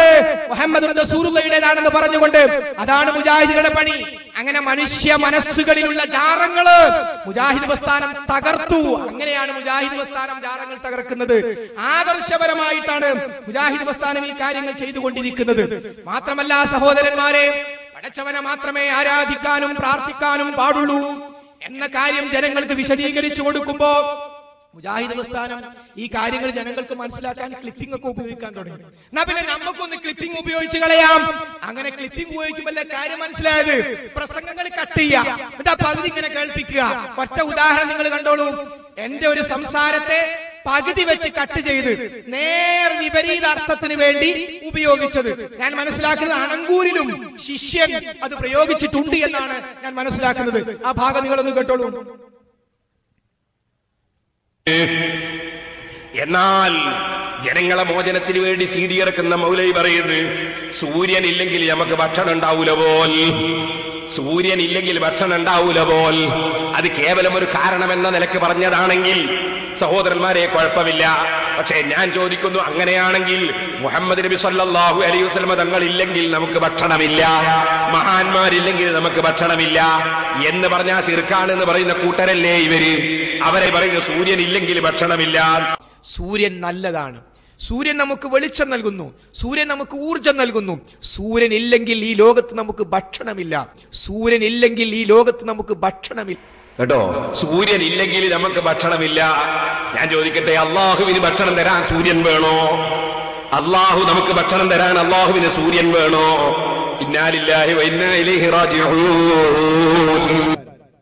മാനവമോചനത്തിന് സൃഷ്ടാവിന്റെ സന്ദേശം എന്ന മുജാഹിദ് സംസ്ഥാന സമ്മേളനം ആ സമ്മേളനത്തിന്റെ സന്ദേശം ജനങ്ങൾക്ക് എത്തിച്ചു കൊടുക്കാൻ ഈ കാസർഗോഡ് നിന്ന് തയ്യാറാക്കിയ ഒരു സി ഡിയാണ് ഈ സി ഡി പേരോടിന്റെ വീട്ടിലും പേരോടിന്റെ വീട്ടിലും സ്കോഡ് വർക്ക് മുഖേന മുജാഹിദ് പ്രവർത്തകർ കൊണ്ട് കൊടുത്തിട്ടുണ്ട്. പക്ഷെ മൂപ്പർ ഇതിനാ ഉപയോഗിച്ചു ഓരോരുത്തർക്കും ഓരോ കാര്യം ഓരോ തരത്തിലാണ് ഉപകാരപ്പെടുക. മുജാഹിദ് പേരോടും നന്നാകണം എന്നാണ് മുജാഹിദുള്ള ആഗ്രഹം. എല്ലാവർക്കും മാനവമോചനത്തിന്റെ സ്രഷ്ടാവിന്റെ സന്ദേശം എത്തിച്ചു കൊടുക്കണം. മൗദനിയോട് സംസാരിച്ചിട്ടുണ്ട്. എല്ലാരോടും സംസാരിച്ചിട്ടുണ്ട്. അപ്പൊ അദ്ദേഹം ഈ പ്രസംഗത്തിൽ എന്താ പറഞ്ഞത്? സൂര്യൻ ഇല്ലെങ്കിൽ നമുക്ക് ഭക്ഷണമില്ല എന്നല്ലേ പറയുന്നത്. എന്നിട്ട് അതിനിടക്ക് മൂപ്പർക്ക് തന്നെ ഒരു ഇടങ്ങേറ്. ഇതിപ്പോ ഉദ്ദേശിക്കുന്നത് ഒരു സൂര്യൻ ഒരു കാരണമാണ്. എന്ന നിലക്കാണെങ്കിൽ കുഴപ്പമില്ല. മൂപ്പരിങ്ങനെ തോന്നുകയാണ്. അങ്ങനെ സൂര്യൻ ഇല്ലെങ്കിൽ ഭക്ഷണമില്ല എന്ന് പറഞ്ഞ് കട്ട് ചെയ്ത് കൊടുക്കുന്നത് ശരി പെട്ടെന്ന് ഒരു മനക്കുത്ത്. അത് മനുഷ്യന് വരുമല്ലോ. അവിടെ തന്നെ മൂപ്പര ഒരു വ്യാഖ്യാനം. അത് കാരണം എന്ന നിലക്കാണെങ്കിൽ കുഴപ്പമില്ല. എന്നിട്ട് അടുത്തെന്താ? അപ്പൊ മഹാന്മാര് മുഖേന എന്ന് പറഞ്ഞാലാണ് അവർക്ക് പ്രശ്നം. എന്നിട്ട് എന്താ മഹാന്മാരോട് പ്രാർത്ഥിക്കാം. അതെന്നാണ് ശരി എന്ന് ഈ പ്രസംഗം കട്ട് ചെയ്തുകൊണ്ട്. സഹോദരന്മാരെ ഈ പ്രസംഗത്തിന്റെ ബാക്കി നിങ്ങളൊന്ന് കേൾക്കുക. എന്തിനാണ് ഈ പ്രസംഗം? എന്താണ് ഞാൻ പറഞ്ഞുകൊണ്ട് വരുന്നത് എന്ന് ഈ ഇദ്ദേഹം പറഞ്ഞ ആ പ്രസംഗത്തിന്റെ ബാക്കി ഭാഗം. ഈ അണങ്കൂരിൽ കട്ട് ചെയ്ത് കേൾപ്പിച്ച ആ പ്രസംഗത്തിന്റെ ബാക്കി ഭാഗം. അവിഷയത്തിലെങ്ങാനും തകരാറ് വന്നാൽ അവൻ പരാജയപ്പെട്ടു. മഹാനായ ഇബ്രാഹിം നബി അലഹിസ്സലാം സൂര്യനെയും ചന്ദ്രനെയും നക്ഷത്രങ്ങളെയും വിഗ്രഹങ്ങളെയും ആരാധിച്ച ജനങ്ങളുടെ ബുദ്ധിയെ ഉദ്ദീപിപ്പിച്ചുകൊണ്ട് പറഞ്ഞു നക്ഷത്രങ്ങളെ നോക്കി അതാണ് എന്റെ റബ്ബ്. ചന്ദ്രനെ നോക്കിയിട്ട് അതാണ് എന്റെ റബ്ബ്. അവ അസ്തമിച്ചു പോകുമ്പോൾ അസ്തമിക്കുന്നതിനെ ആരാധിക്കാൻ ഞാനില്ല. നിങ്ങൾ ചെയ്യുന്ന ഷിർക്കിൽ ഞാനില്ല എന്ന് പറഞ്ഞു. പിന്നീട് ആ സൂര്യൻ ഉദിച്ചു വരുന്നു. ഹാദാ റബ്ബി ഹുവ അക്ബർ. അതാണ് എന്റെ റബ്ബ് അത് വലിയതാകുന്നു എന്ന് പിന്നീട് ഇബ്രാഹിം നബി അലഹി ഇസ്ലാം പറഞ്ഞു. വൈകുന്നേരം ആകുമ്പോൾ സൂര്യനും അസ്തമിച്ചു പോയി. അദ്ദേഹം പറഞ്ഞു ഇതിനെ ആരാധിക്കാൻ ഞാനില്ല. ഞാൻ എന്റെ റബ്ബിനെ മാത്രമേ ആരാധിക്കുകയുള്ളൂ. വിശുദ്ധ ഖുർആൻ വിശദമായി പരാമർശിച്ച ഭാഗങ്ങളാണത്. അഥവാ സൂര്യൻ നല്ലതാണ്. സൂര്യൻ നമുക്ക് വെളിച്ചം നൽകുന്നു. സൂര്യൻ നമുക്ക് ഊർജം നൽകുന്നു. സൂര്യൻ ഇല്ലെങ്കിൽ ഈ ലോകത്ത് നമുക്ക് ഭക്ഷണമില്ല. എന്നാൽ സൂര്യൻ ആരാധിക്കപ്പെടാൻ പ്രാർത്ഥിക്കപ്പെടാൻ നേർച്ച വഴിപാടുകൾ നൽകപ്പെടാൻ കൊള്ളുകയില്ല. സൂര്യന്റെ സൃഷ്ടാവാണ് ആരാധ്യൻ. ഭൂമി എന്തെന്തെല്ലാം അനുഗ്രഹങ്ങളാണ് ഭൂമിയിലൂടെ നമ്മൾ അനുഭവിച്ചു കൊണ്ടിരിക്കുന്നത് എന്നാൽ ഭൂമി ആരാധിക്കപ്പെടാൻ പ്രാർത്ഥിക്കപ്പെടാൻ കൊള്ളുകയില്ല. ഭൂമിയുടെ സൃഷ്ടാവാണ് ആരാധ്യൻ. സഹോദരങ്ങളെ എന്തിനാണ് ആ പ്രസംഗം? സൂര്യന്റെ പ്രത്യേകതകൾ സൂര്യനിലൂടെ റബ്ബ് സുബാനഹുബത്താല നമുക്ക് നൽകിയ അനുഗ്രഹങ്ങൾ ഭക്ഷണം പോലും നമുക്കുണ്ടാകില്ല സൂര്യനില്ലെങ്കിൽ. എന്ന് പറഞ്ഞിട്ട് എന്താ എന്നാൽ ആ സൂര്യനെ അല്ല ആരാധിക്കേണ്ടത്. ആ സൂര്യനോടല്ല പ്രാർത്ഥിക്കേണ്ടത്. ഭൂമിയോടല്ല പ്രാർത്ഥിക്കേണ്ടത്. ഭൂമിക്കല്ല നേർച്ച കൊടുക്കേണ്ടത്. സൂര്യന്റെ സൃഷ്ടാവിനാണ്. ഭൂമിയുടെ സർത്താവിനാണ് അങ്ങനെ പടച്ചവനോടാണ് പ്രാർത്ഥിക്കേണ്ടത്. സൂര്യനോടല്ല ചന്ദ്രനോടല്ല ഭൂമിയോടല്ല എന്ന് സർത്താവായ നാഥനെ മാത്രം ആരാധിക്കുവാൻ. മുജാഹിദ് പ്രസ്ഥാനത്തിന്റെ ഇതേപോലുള്ള സീഡുകൾ പരിശോധിച്ചാൽ വീണ്ടും നിങ്ങൾക്ക് കേൾക്കാം. മഹാനായ മഹാനായ മഹാനായ ഈസാ നബി അലഹിസ്ലാം മഹാനാണ്. പക്ഷേ ഈസാ നബി അലഹിസ്ലാമിനോടല്ല അവിടെ ഈസാ നബി അലഹിസ്ലാമിന്റെ സൃഷ്ടാവിനോടാണ് നമ്മൾ പ്രാർത്ഥിക്കേണ്ടത്. മുഹമ്മദ് റസൂലുള്ള മഹാനാണ്. മുഹമ്മദ് റസൂലുള്ളയോടല്ല. മുഹമ്മദ് റസൂലുള്ളയെ നമ്മളിലേക്ക് അയച്ച ലോകത്തിന്റെ സർത്താവിനോടാണ് പ്രാർത്ഥിക്കേണ്ടത്. അപ്പൊ എന്തിനാണ് ഈ പ്രസംഗം? എന്തിനാണ് ഈ സി ഡി? ആ സി ഡിയുടെ ഒരു വിഷയം പറയുന്നത്. സി ഡി എല്ലാം ജനങ്ങളെ കേൾപ്പിക്കാൻ കഴിയില്ല. ആർക്കും കഴിയില്ല. പക്ഷെ എന്റെ പ്രസംഗം എന്തിനു വേണ്ടിയായിരുന്നു? സൂര്യനോടല്ല പ്രാർത്ഥിക്കേണ്ടത് എന്ന് പറയുന്ന വിഷയത്തിൽ കട്ട് ചെയ്താണ്. കണ്ടോ? എന്ന് പറഞ്ഞുകൊണ്ട് ജനങ്ങളെ കേൾപ്പിച്ചുകൊണ്ടിരിക്കുന്നത്. ഇനി സഹോദരന്മാരെ ഇങ്ങനെ കട്ട് ചെയ്തുകൊണ്ട് ഈ സീഡികളെ ദുരുപയോഗം ചെയ്യുന്ന ആളുകളോട് അതാ ഒരു ചോദ്യം. എന്താണ് ചോദ്യം? സൂര്യനോട് ചോദിക്കാമോ? നോക്കൂ സഹോദരന്മാരെ ഈ സമൂഹം എവിടെയെത്തി സൂര്യനോട് ചോദിക്കാമോ എന്നാണ് ചോദ്യം. അങ്ങനെ ചോദിക്കുന്ന സന്ദർഭത്തിൽ സൂര്യൻ ചോദിക്കാതെ തന്നെ തരുന്നുണ്ടല്ലോ എന്നാ മറുപടി. ചോദിക്കേണ്ടിയില്ല. ചോദിക്കാതെ തന്നെ തരുന്നുണ്ടല്ലോ. ഇനി ചോദിച്ചു നോക്കൂ എന്ത് സംഭവിക്കും? മുഷിരിക്കൊന്നും ആവൂല. മൂപ്പര് പറയാ എന്റെ മുമ്പിലുള്ള മൈക്കില്ലേ? മൈക്കിനോടൊരാൾ ചോദിച്ചു. ഒരു പ്രശ്നവുമില്ല. പിന്നെന്താ? മൈക്കിന് സ്വന്തം കഴിവുണ്ടെന്ന് വിശ്വസിക്കരുത്. സൂര്യന് സ്വന്തം കഴിവുണ്ട് എന്ന് വിശ്വസിക്കുന്നില്ലേ? സൂര്യനോട് തേടാം. നോക്കൂ ആ ഷിർക്കിന്റെ ചോദ്യോത്തരം. സഹോദരന്മാരെ നിങ്ങളൊന്ന് ശ്രദ്ധിക്കൂ. സൂര്യനും ചന്ദ്രനും നമുക്ക് പ്രകാശം തന്ന് സഹായിക്കുന്നുണ്ട്. എന്നാൽ അവരോട് ആരും സഹായം തേടാറില്ല. അതും ഇതുമായിട്ടുള്ള വ്യത്യാസം എന്താണ്? സൂര്യനോട് സഹായം ചോദിക്കാത്തതും തരുന്നുണ്ട് അതുകൊണ്ടായിരിക്കും ആരും ചോദിക്കാത്തത്. ഇനിയിപ്പോ ഒരു സൂര്യനോടാണ് സഹായം ചോദിച്ചു. എന്നാ എന്താ സംഭവിക്കാം സൂര്യനോടല്ല എന്റെ മുമ്പിലുള്ള ഈ ഈ മൈക്കിനോട് ഞാൻ സഹായം ചോദിച്ചു. എന്താ സംഭവിക്കാം മൈക്കിനോട് ഞാൻ ഇങ്ങനെ സഹായിക്കണേ എന്ന് പറഞ്ഞാൽ ഒരു പക്ഷെ നിങ്ങൾ പിരിവെടുത്തിട്ട് കുതിരോടത്ത് കൊണ്ടുപോകും. സാധ്യതയുണ്ട്. പക്ഷെ ആൾ മുസ്ലിക്കാവില്ല ആൾ മുഷിരിക്കാവും മുഷിരിക്കാകണമെങ്കിൽ ഈ സാധനം ദൈവീകമായ സ്വയം പര്യാപ്തതയുള്ള മഴബൂതായ ആരാധ്യനായ ഒരു വസ്തുവാണ് അല്ലെങ്കിൽ ഒരു ഒരു ഒരു ശക്തിയാണ് എന്ന് ഞാൻ വിശ്വസിക്കുമ്പോൾ മാത്രമേ ശിർക്ക് വരുള്ളൂ. സൂര്യനോട് സൂര്യനോട് ചോദിക്കുന്ന കുറിച്ച് മുമ്പ് ഉത്തരം എന്താ ചോദിക്കാനെ തരുന്നുണ്ട്. അതുകൊണ്ടായിരിക്കും ചോദിക്കാത്തത്. ചോദിച്ചത് കരുതുക. ഇനി സൂര്യനോട്ട് മൈക്ക് മൈക്കിനോട് അങ്ങോട്ട് ചോദിച്ച്.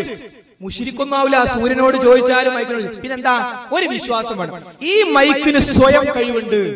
സൂര്യന് സ്വയം കഴിവുണ്ട് എന്ന് വിശ്വസിച്ചുകൊണ്ട് ചോദിച്ചാൽ മാത്രമേ ശിർക്കാവുകയുള്ളൂ. അപ്പൊ സൂര്യനോടും ചോദിക്കാനാണ് സൂര്യന് സ്വയം കഴിവുണ്ട് എന്ന് വിശ്വസിക്കരുത്. എങ്കിൽ സഹോദരന്മാരെ തൗഹീദും ഷിർക്കും നമ്മൾ പഠിക്കേണ്ടത് അഹ്ലുസുന്നത്തി വൽ ജമാഅത്തിന്റെ ആദർശത്തിന്റെ അടിസ്ഥാനത്തിലല്ലേ? ജമാഅത്തിന്റെ ഒന്നാം പ്രമാണം പരിശുദ്ധ ഖുർആൻ. ആ പരിശുദ്ധ ഖുർആനിൽ ഈ ഷിർക്കൻ ഫത്വ കൊടുത്ത മുസ്ലിയാരില്ലേ? ആ സുലൈമാൻ സഖാഫി അംഗീകരിക്കുന്ന സമസ്തക്കാര് അംഗീകരിക്കുന്ന പി എം എസ് എ പൂക്കോയത്തങ്ങൾ അവതാരിക എഴുതിയിട്ടുള്ള പരിഭാഷയാണിത്. ടി കെ അബ്ദുള്ള മുസ്ലിയാരുടെ പരിഭാഷ. ഈ പരിഭാഷയിൽ നിന്ന് മക്കയിലെ പച്ച മുഷിരിക്കുകൾ അവരെന്തുകൊണ്ട് മുഷിരിക്കായി എന്ന് ഇതാ വിശദീകരിക്കുകയാണ്. പരിശുദ്ധ ഖുർആാനിലെ പത്താമത്തെ അധ്യായം സൂറത്ത് യൂനുസിലെ മുപ്പത്തിയൊന്നാമത്തെ ആയത്തിൽ കൃത്യമായി നമുക്കത് കാണാം. കുൽ മൻ യർസുഖുക്കും മിനസ് സമാഇ വൽ അർളി أمن يملك السمع والأبصار ومن يخرج الحي من الميت ويخرج الميت من الحي ومن يدبر الأمر فسيقولون الله فقل أفلا تتقون ഈ ആയത്തിന് മക്കയിലെ മുഷിരിക്കുകളെ കുറിച്ച് അവരുടെ വിശ്വാസത്തെ കുറിച്ച് അവരോട് ചോദിക്കാൻ പറഞ്ഞ ഈ ആയത്തിനെ കുറിച്ച് നോക്കൂ എന്താണ് സമസ്തക്കാര് കൊടുക്കുന്ന അർത്ഥം അവരോട് ചോദിക്കുക ആകാശത്ത് നിന്നും ബ്രാക്കറ്റിൽ മഴ കൊണ്ട് ഭൂമിയിൽ നിന്നും ബ്രാക്കറ്റിൽ ഉൽപ്പന്നങ്ങൾ വഴിയും നിങ്ങൾക്ക് ആഹാരം തരുന്നത് ആരാണ്? കേൾവിയെയും കാഴ്ചയെയും അധീരമാക്കിയവൻ കേൾപ്പിക്കലിനെ കേൾപ്പിക്കലിനെ പടച്ചവൻ എന്നർത്ഥം അത് ആരാണ്? നിർജീവിയിൽ നിന്നും ജീവിയെയും ജീവിയിൽ നിന്ന് നിർജീവിയെയും പുറപ്പെടുവിക്കുന്നവൻ ആരാണ്? സൃഷ്ടികൾക്കിടയിൽ കാര്യങ്ങൾ നിയന്ത്രിക്കുന്നവരും ആരാണ്? എന്താ ചോദിക്കേണ്ടത്? ആരാണ് കാര്യങ്ങളെ നിയന്ത്രിക്കുന്നത്? ആരാണ് കാഴ്ചയെയും കേൾവിയെയും ഉടമപ്പെടുത്തുന്നത്? എന്നൊക്കെ അവരോട് ചോദിച്ചാൽ അവർ പറയും എന്താണ് അവരുടെ മറുപടി? അല്ലാഹുവാണെന്ന് അപ്പോൾ അവർ പറയും.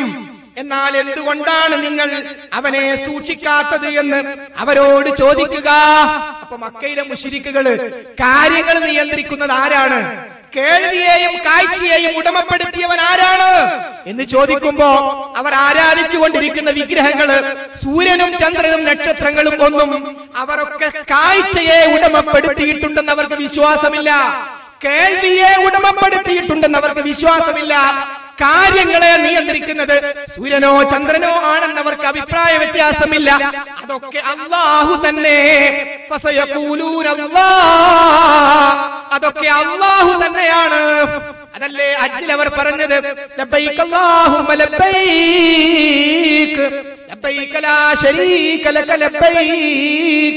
അള്ളാഹുവേ നിന്റെ വിളിക്ക് ഉത്തരം നൽകിയതാ ഞങ്ങൾ വന്നിരിക്കുന്നു. എന്നിട്ട് അവർ കൂട്ടിച്ചേർക്കും. എന്താ? ഇല്ല ഒരു പങ്കുകാരൊഴികെ ഹുവലക്ക് അത് നിന്റേതാണ്. അവർ ഉടമപ്പെടുത്തുന്നതും നീ ഉടമപ്പെടുത്തുന്നതാണ്. ഒരു സ്വയം ഒരു കഴിവില്ല. നീ കൊടുക്കുന്ന കഴിവേ ഉള്ളൂ. ആരാ പറഞ്ഞത്? മക്കയിലെ ബഹുദൈവ വിശ്വാസികളാണ് പറഞ്ഞത്. അതല്ലേ ചോദ്യോത്തരത്തിലൂടെ? സൂര്യനെ വിളിച്ചൂടെ എന്ന് ചോദിച്ച ആളോട് വിളിച്ചാൽ എന്താ കുഴപ്പം? ഒരു കുഴപ്പമില്ല മൈക്കിനോട് ചോദിക്ക. ഒരു കുഴപ്പമില്ല സ്വയം കഴിവുണ്ടെന്ന് വിശ്വസിച്ചാൽ മാത്രമേ പ്രശ്നമുള്ളൂ. സ്വയം കഴിവുണ്ടെന്ന് വിശ്വസിച്ചാൽ മാത്രമേ പ്രശ്നമുള്ളൂ. അപ്പൊ അബൂജഹൽ എങ്ങനെ മുഷിരിക്കാകുന്നു കാരണം ആ ഹജ്ജ് ചെയ്തപ്പോ എന്താ പറഞ്ഞത്? ഇല്ലാ ശരീകൻ ഹുവലക്ക് തംലിക്കുഹു വമാ മലക്ക് പടച്ചോനെ യാതൊരു പങ്കുകാരും ഞങ്ങൾ ഉണ്ടാക്കുന്നില്ല എന്ന് പറഞ്ഞതിനു ശേഷം ഒരു പങ്കുകാരൊഴികെ അവർ ഉടമപ്പെടുത്തുന്നത് നിന്റെ അധീനതയിൽ ഉള്ളതാണല്ലോ. അവർക്ക് സ്വയം ഒരു കഴിവില്ല അള്ള കൊടുത്ത കഴിവ് തന്നെ. എന്നാണ് അവരുടെ വിശ്വാസം. നോക്കൂ സീഡ് കട്ട് ചെയ്തുകൊണ്ട് കാണിച്ചപ്പോ തങ്ങൾ കൊടുത്ത ശിർക്കൻ ഫത്വ പുറത്തു കൊണ്ടുവരാൻ നമ്മൾ നിർബന്ധിതരായിരിക്കുകയാണ്. സഹോദരന്മാരെ ഗൗരവത്തോടുകൂടി ഈ വിഷയത്തെ നമ്മൾ കാണണം. ഇനി സഹോദരന്മാരെ ഇവിടെ അല്പം പരിഹാസത്തോടുകൂടി മുജാഹിദ് പ്രസ്ഥാനം ഇന്നാട്ടിലെ സഹോദരിമാരെ എല്ലാവരെയും നിർബന്ധമായി പിടിച്ച് വണ്ടിയിലിട്ട് സലഫി പള്ളിന്റെ മുമ്പിൽ പോയി ഇറക്കിയിട്ട് കേറടി പള്ളിയിലേക്ക് എന്ന് പറയാൻ ആരോടും പറഞ്ഞിട്ടില്ല. എന്നാൽ മഹാനായ നബി കരീം സല്ലല്ലാഹു അലൈഹി വസല്ലം അള്ളാഹുവിന്റെ അടിയാത്തികൾക്ക് അനുവദനീയമാക്കിയ കാര്യമാണ് പള്ളിപ്രവേശം എന്ന് പറയുന്നത് അതുകൊണ്ട് അള്ളാഹുവിന്റെ അടിയാത്തുകളായ സ്ത്രീകളെ നിങ്ങൾ പള്ളികളെ തൊട്ട് തടയരുത്. അതുകൊണ്ട് തന്നെ അത് പാടില്ല എന്ന് പറയാൻ ഹറാമാണെന്ന് പറയാൻ സമ്മതം ചോദിച്ചാൽ പോകരുത് എന്ന് പറയാൻ നമുക്ക് യാതൊരു അവകാശവും ഇല്ല എന്ന് നബി കരീം സല്ലല്ലാഹു അലൈഹി വസല്ലമയുടെ ഹദീസ് ഉദ്ധരിച്ചുകൊണ്ട് ജനങ്ങളെ കേൾപ്പിക്കുന്നു. മാത്രമല്ല സഹോദരന്മാരെ ഇത് പുതിയൊരു ആശയമല്ല. ആയിരത്തി തൊള്ളായിരത്തി തൊണ്ണൂറ്റിയെട്ട് ജനുവരി പത്തൊമ്പതാം തീയതി സിറാജ് പത്രത്തിൽ അത് നോമ്പിന്റെ കാലം. ഈ നോമ്പിന്റെ കാലത്ത് വിശുദ്ധിയുടെ മാസം സിറാജിൽ ഒരു പത്തി അതിൽ ഒരു മുസ്ലിം നേരെ കിതാബിന്റെ പരിഭാഷ കൊടുത്തു. കിതാബിന്റെ പരിഭാഷ വന്ന് അച്ചടിച്ചപ്പോഴാണ് കാര്യം മനസ്സിലായത്. കിതാബ് ജനങ്ങൾ മലയാളത്തിൽ വായിച്ചല്ലോ. എന്താ കൊടുത്തെന്നറിയോ നോമ്പിനെ പറ്റി ഇങ്ങനെ പറഞ്ഞിട്ട് പറയാണ് പൊതുവെ നമസ്കാരത്തിന് വേണ്ടി നിർമ്മിക്കപ്പെട്ടതും വഖഫ് ചെയ്യപ്പെട്ടതുമായ പള്ളിയിലെ ഈത്തിക്കാഫ് സാധുകാവുകയുള്ളൂ ഈത്തിക്കാഫ് വഖഫ് ചെയ്ത പള്ളിയിലെ പറ്റുള്ളൂ. എന്ന് പറയുന്നു? പള്ളി ജാമ്യ ജുമയും ജമാഅത്ത് നടക്കുന്നത് ആകൽ നിർബന്ധമില്ല നിബന്ധനയില്ല. എങ്കിലും അതാണ് ഏറ്റവും ഉത്തമം എന്നൊക്കെ ഈത്തിക്കാഫിനെ പറ്റി ഇങ്ങനെ പറഞ്ഞു വന്നിട്ട് പറയാണ്. അമുസ്ലിം ഭ്രാന്തൻ ബോധമില്ലാത്തവൻ ആർത്തവകാരി പ്രസവക്കാരി ജനാപത്തുകാരൻ മുതലായവരൊന്നും ഈത്തിക്കാഫിരുന്നാൽ സ്വഹീഹാവുകയില്ല. ആദ്യം പറഞ്ഞ ഈത്തിക്കാഫ് ജുമൈ ജമാഅത്തിന്റെ പള്ളിയിലാണ് ഉത്തമം. എന്നിട്ട് പറയാം ചില ആൾക്കാർക്ക് ഈത്തിക്കാഫ് ശരിയാവില്ല ആ മുസ്ലിമിന് പറ്റൂല ഭ്രാന്തന് പറ്റൂല ബോധമില്ലാത്തവന് പറ്റൂല. ആർത്തവക്കാരി ആണുങ്ങൾക്ക് ആർത്തവട്ടോ എനിക്ക് ആർത്തവക്കാരിക്ക് പറ്റൂല പ്രസവക്കാരിക്ക് പറ്റൂല ജനാപത്തുകാരന് പറ്റൂല. ആരാ? സിറാജ് പത്രത്തിലാ വന്നത്. ഇതേ വിശേഷ കിതാബ് അങ്ങനെ തന്നെ പരിഭാഷപ്പെടുത്തിയതാ. പിന്നെ മനസ്സിലായത് ആൾക്കാർ മലയാളത്തിൽ വായിക്കുന്നുള്ളത്. അപ്പൊ കിതാബിലുള്ളത് എന്താ? അത് സിറാജ് പത്രത്തിൽ തന്നെ ആയിരത്തി തൊള്ളായിരത്തി തൊണ്ണൂറ്റി എട്ടിൽ കൃത്യമായി പറഞ്ഞിട്ടുണ്ട്. അൽ മുഅല്ലിം മാസിക. കെ വി മുഹമ്മദ് മുസ്ലിയാരാണ് എന്റെ ചീഫ് എഡിറ്റർ ആയിരത്തി തൊള്ളായിരത്തി തൊണ്ണൂറ്റി ഏപ്രിൽ മാസത്തിൽ വളരെ കൃത്യമായി പറയുന്നു. സ്ത്രീകൾക്ക് ചിലപ്പോൾ പള്ളിയിൽ പോകേണ്ട മതപരമായ ആവശ്യങ്ങൾ ഉണ്ടായേക്കാം. ഉദാഹരണം ഒരു സ്ത്രീ പള്ളിയിൽ പോയി രണ്ടരക്കാലത്ത് നമസ്കരിക്കാനോ അഥവാ അല്പസമയം ഭജനം ഇരിക്കുവാനോ നേർച്ചയാക്കിയാൽ തദാവശ്യാർത്ഥം പള്ളിയിൽ പോകൽ അവൾക്ക് അനിവാര്യമായി. പെണ്ണ് വിചാരിക്കുക ഏതായാലും ഞാൻ എന്റെ കാതുള്ളൊക്കെ കഴിച്ചു കൊടുത്താൽ ആ പള്ളി ഉണ്ടായിരുന്നു ഒരു രണ്ടരക്കായ നിസ്കാരം എനിക്ക് ആ പള്ളി പോയി നിസ്കരിക്കണം. ഏതായാലും പുലിയാര് വയലൊക്കെ പറഞ്ഞിട്ട് പൊന്നൊക്കെ വാങ്ങി ഉണ്ടാക്കിയല്ലേ? എന്നൊരു പെണ്ണായിട്ട് വിചാരിച്ച് രണ്ടരക്കായ നിസ്കരിക്കണം. അല്ല എനിക്ക് കുറച്ചേരാട് എത്തിക്കാതിരിക്കണം എന്ന് തീരുമാനിച്ചാൽ തദാവശ്യാർത്ഥം പള്ളിയിൽ പോകൽ അവർക്ക് അനിവാര്യമായി. അന്യ പുരുഷന്മാരുമായി ദർശനവും സംഗമവും ഉണ്ടാകാൻ സാധ്യതയില്ലാത്ത സമയം അവൾ പള്ളിയിൽ ചെന്ന് അത് നിർവഹിക്കണം. ഇത്തരം മതപരമായ അവകാശങ്ങൾ സ്ത്രീകൾക്ക് പള്ളിയിൽ നിങ്ങൾ തടയരുതെന്നാണ് ഉപരിസൂചിത ഹദീസിന്റെ വിവക്ഷ.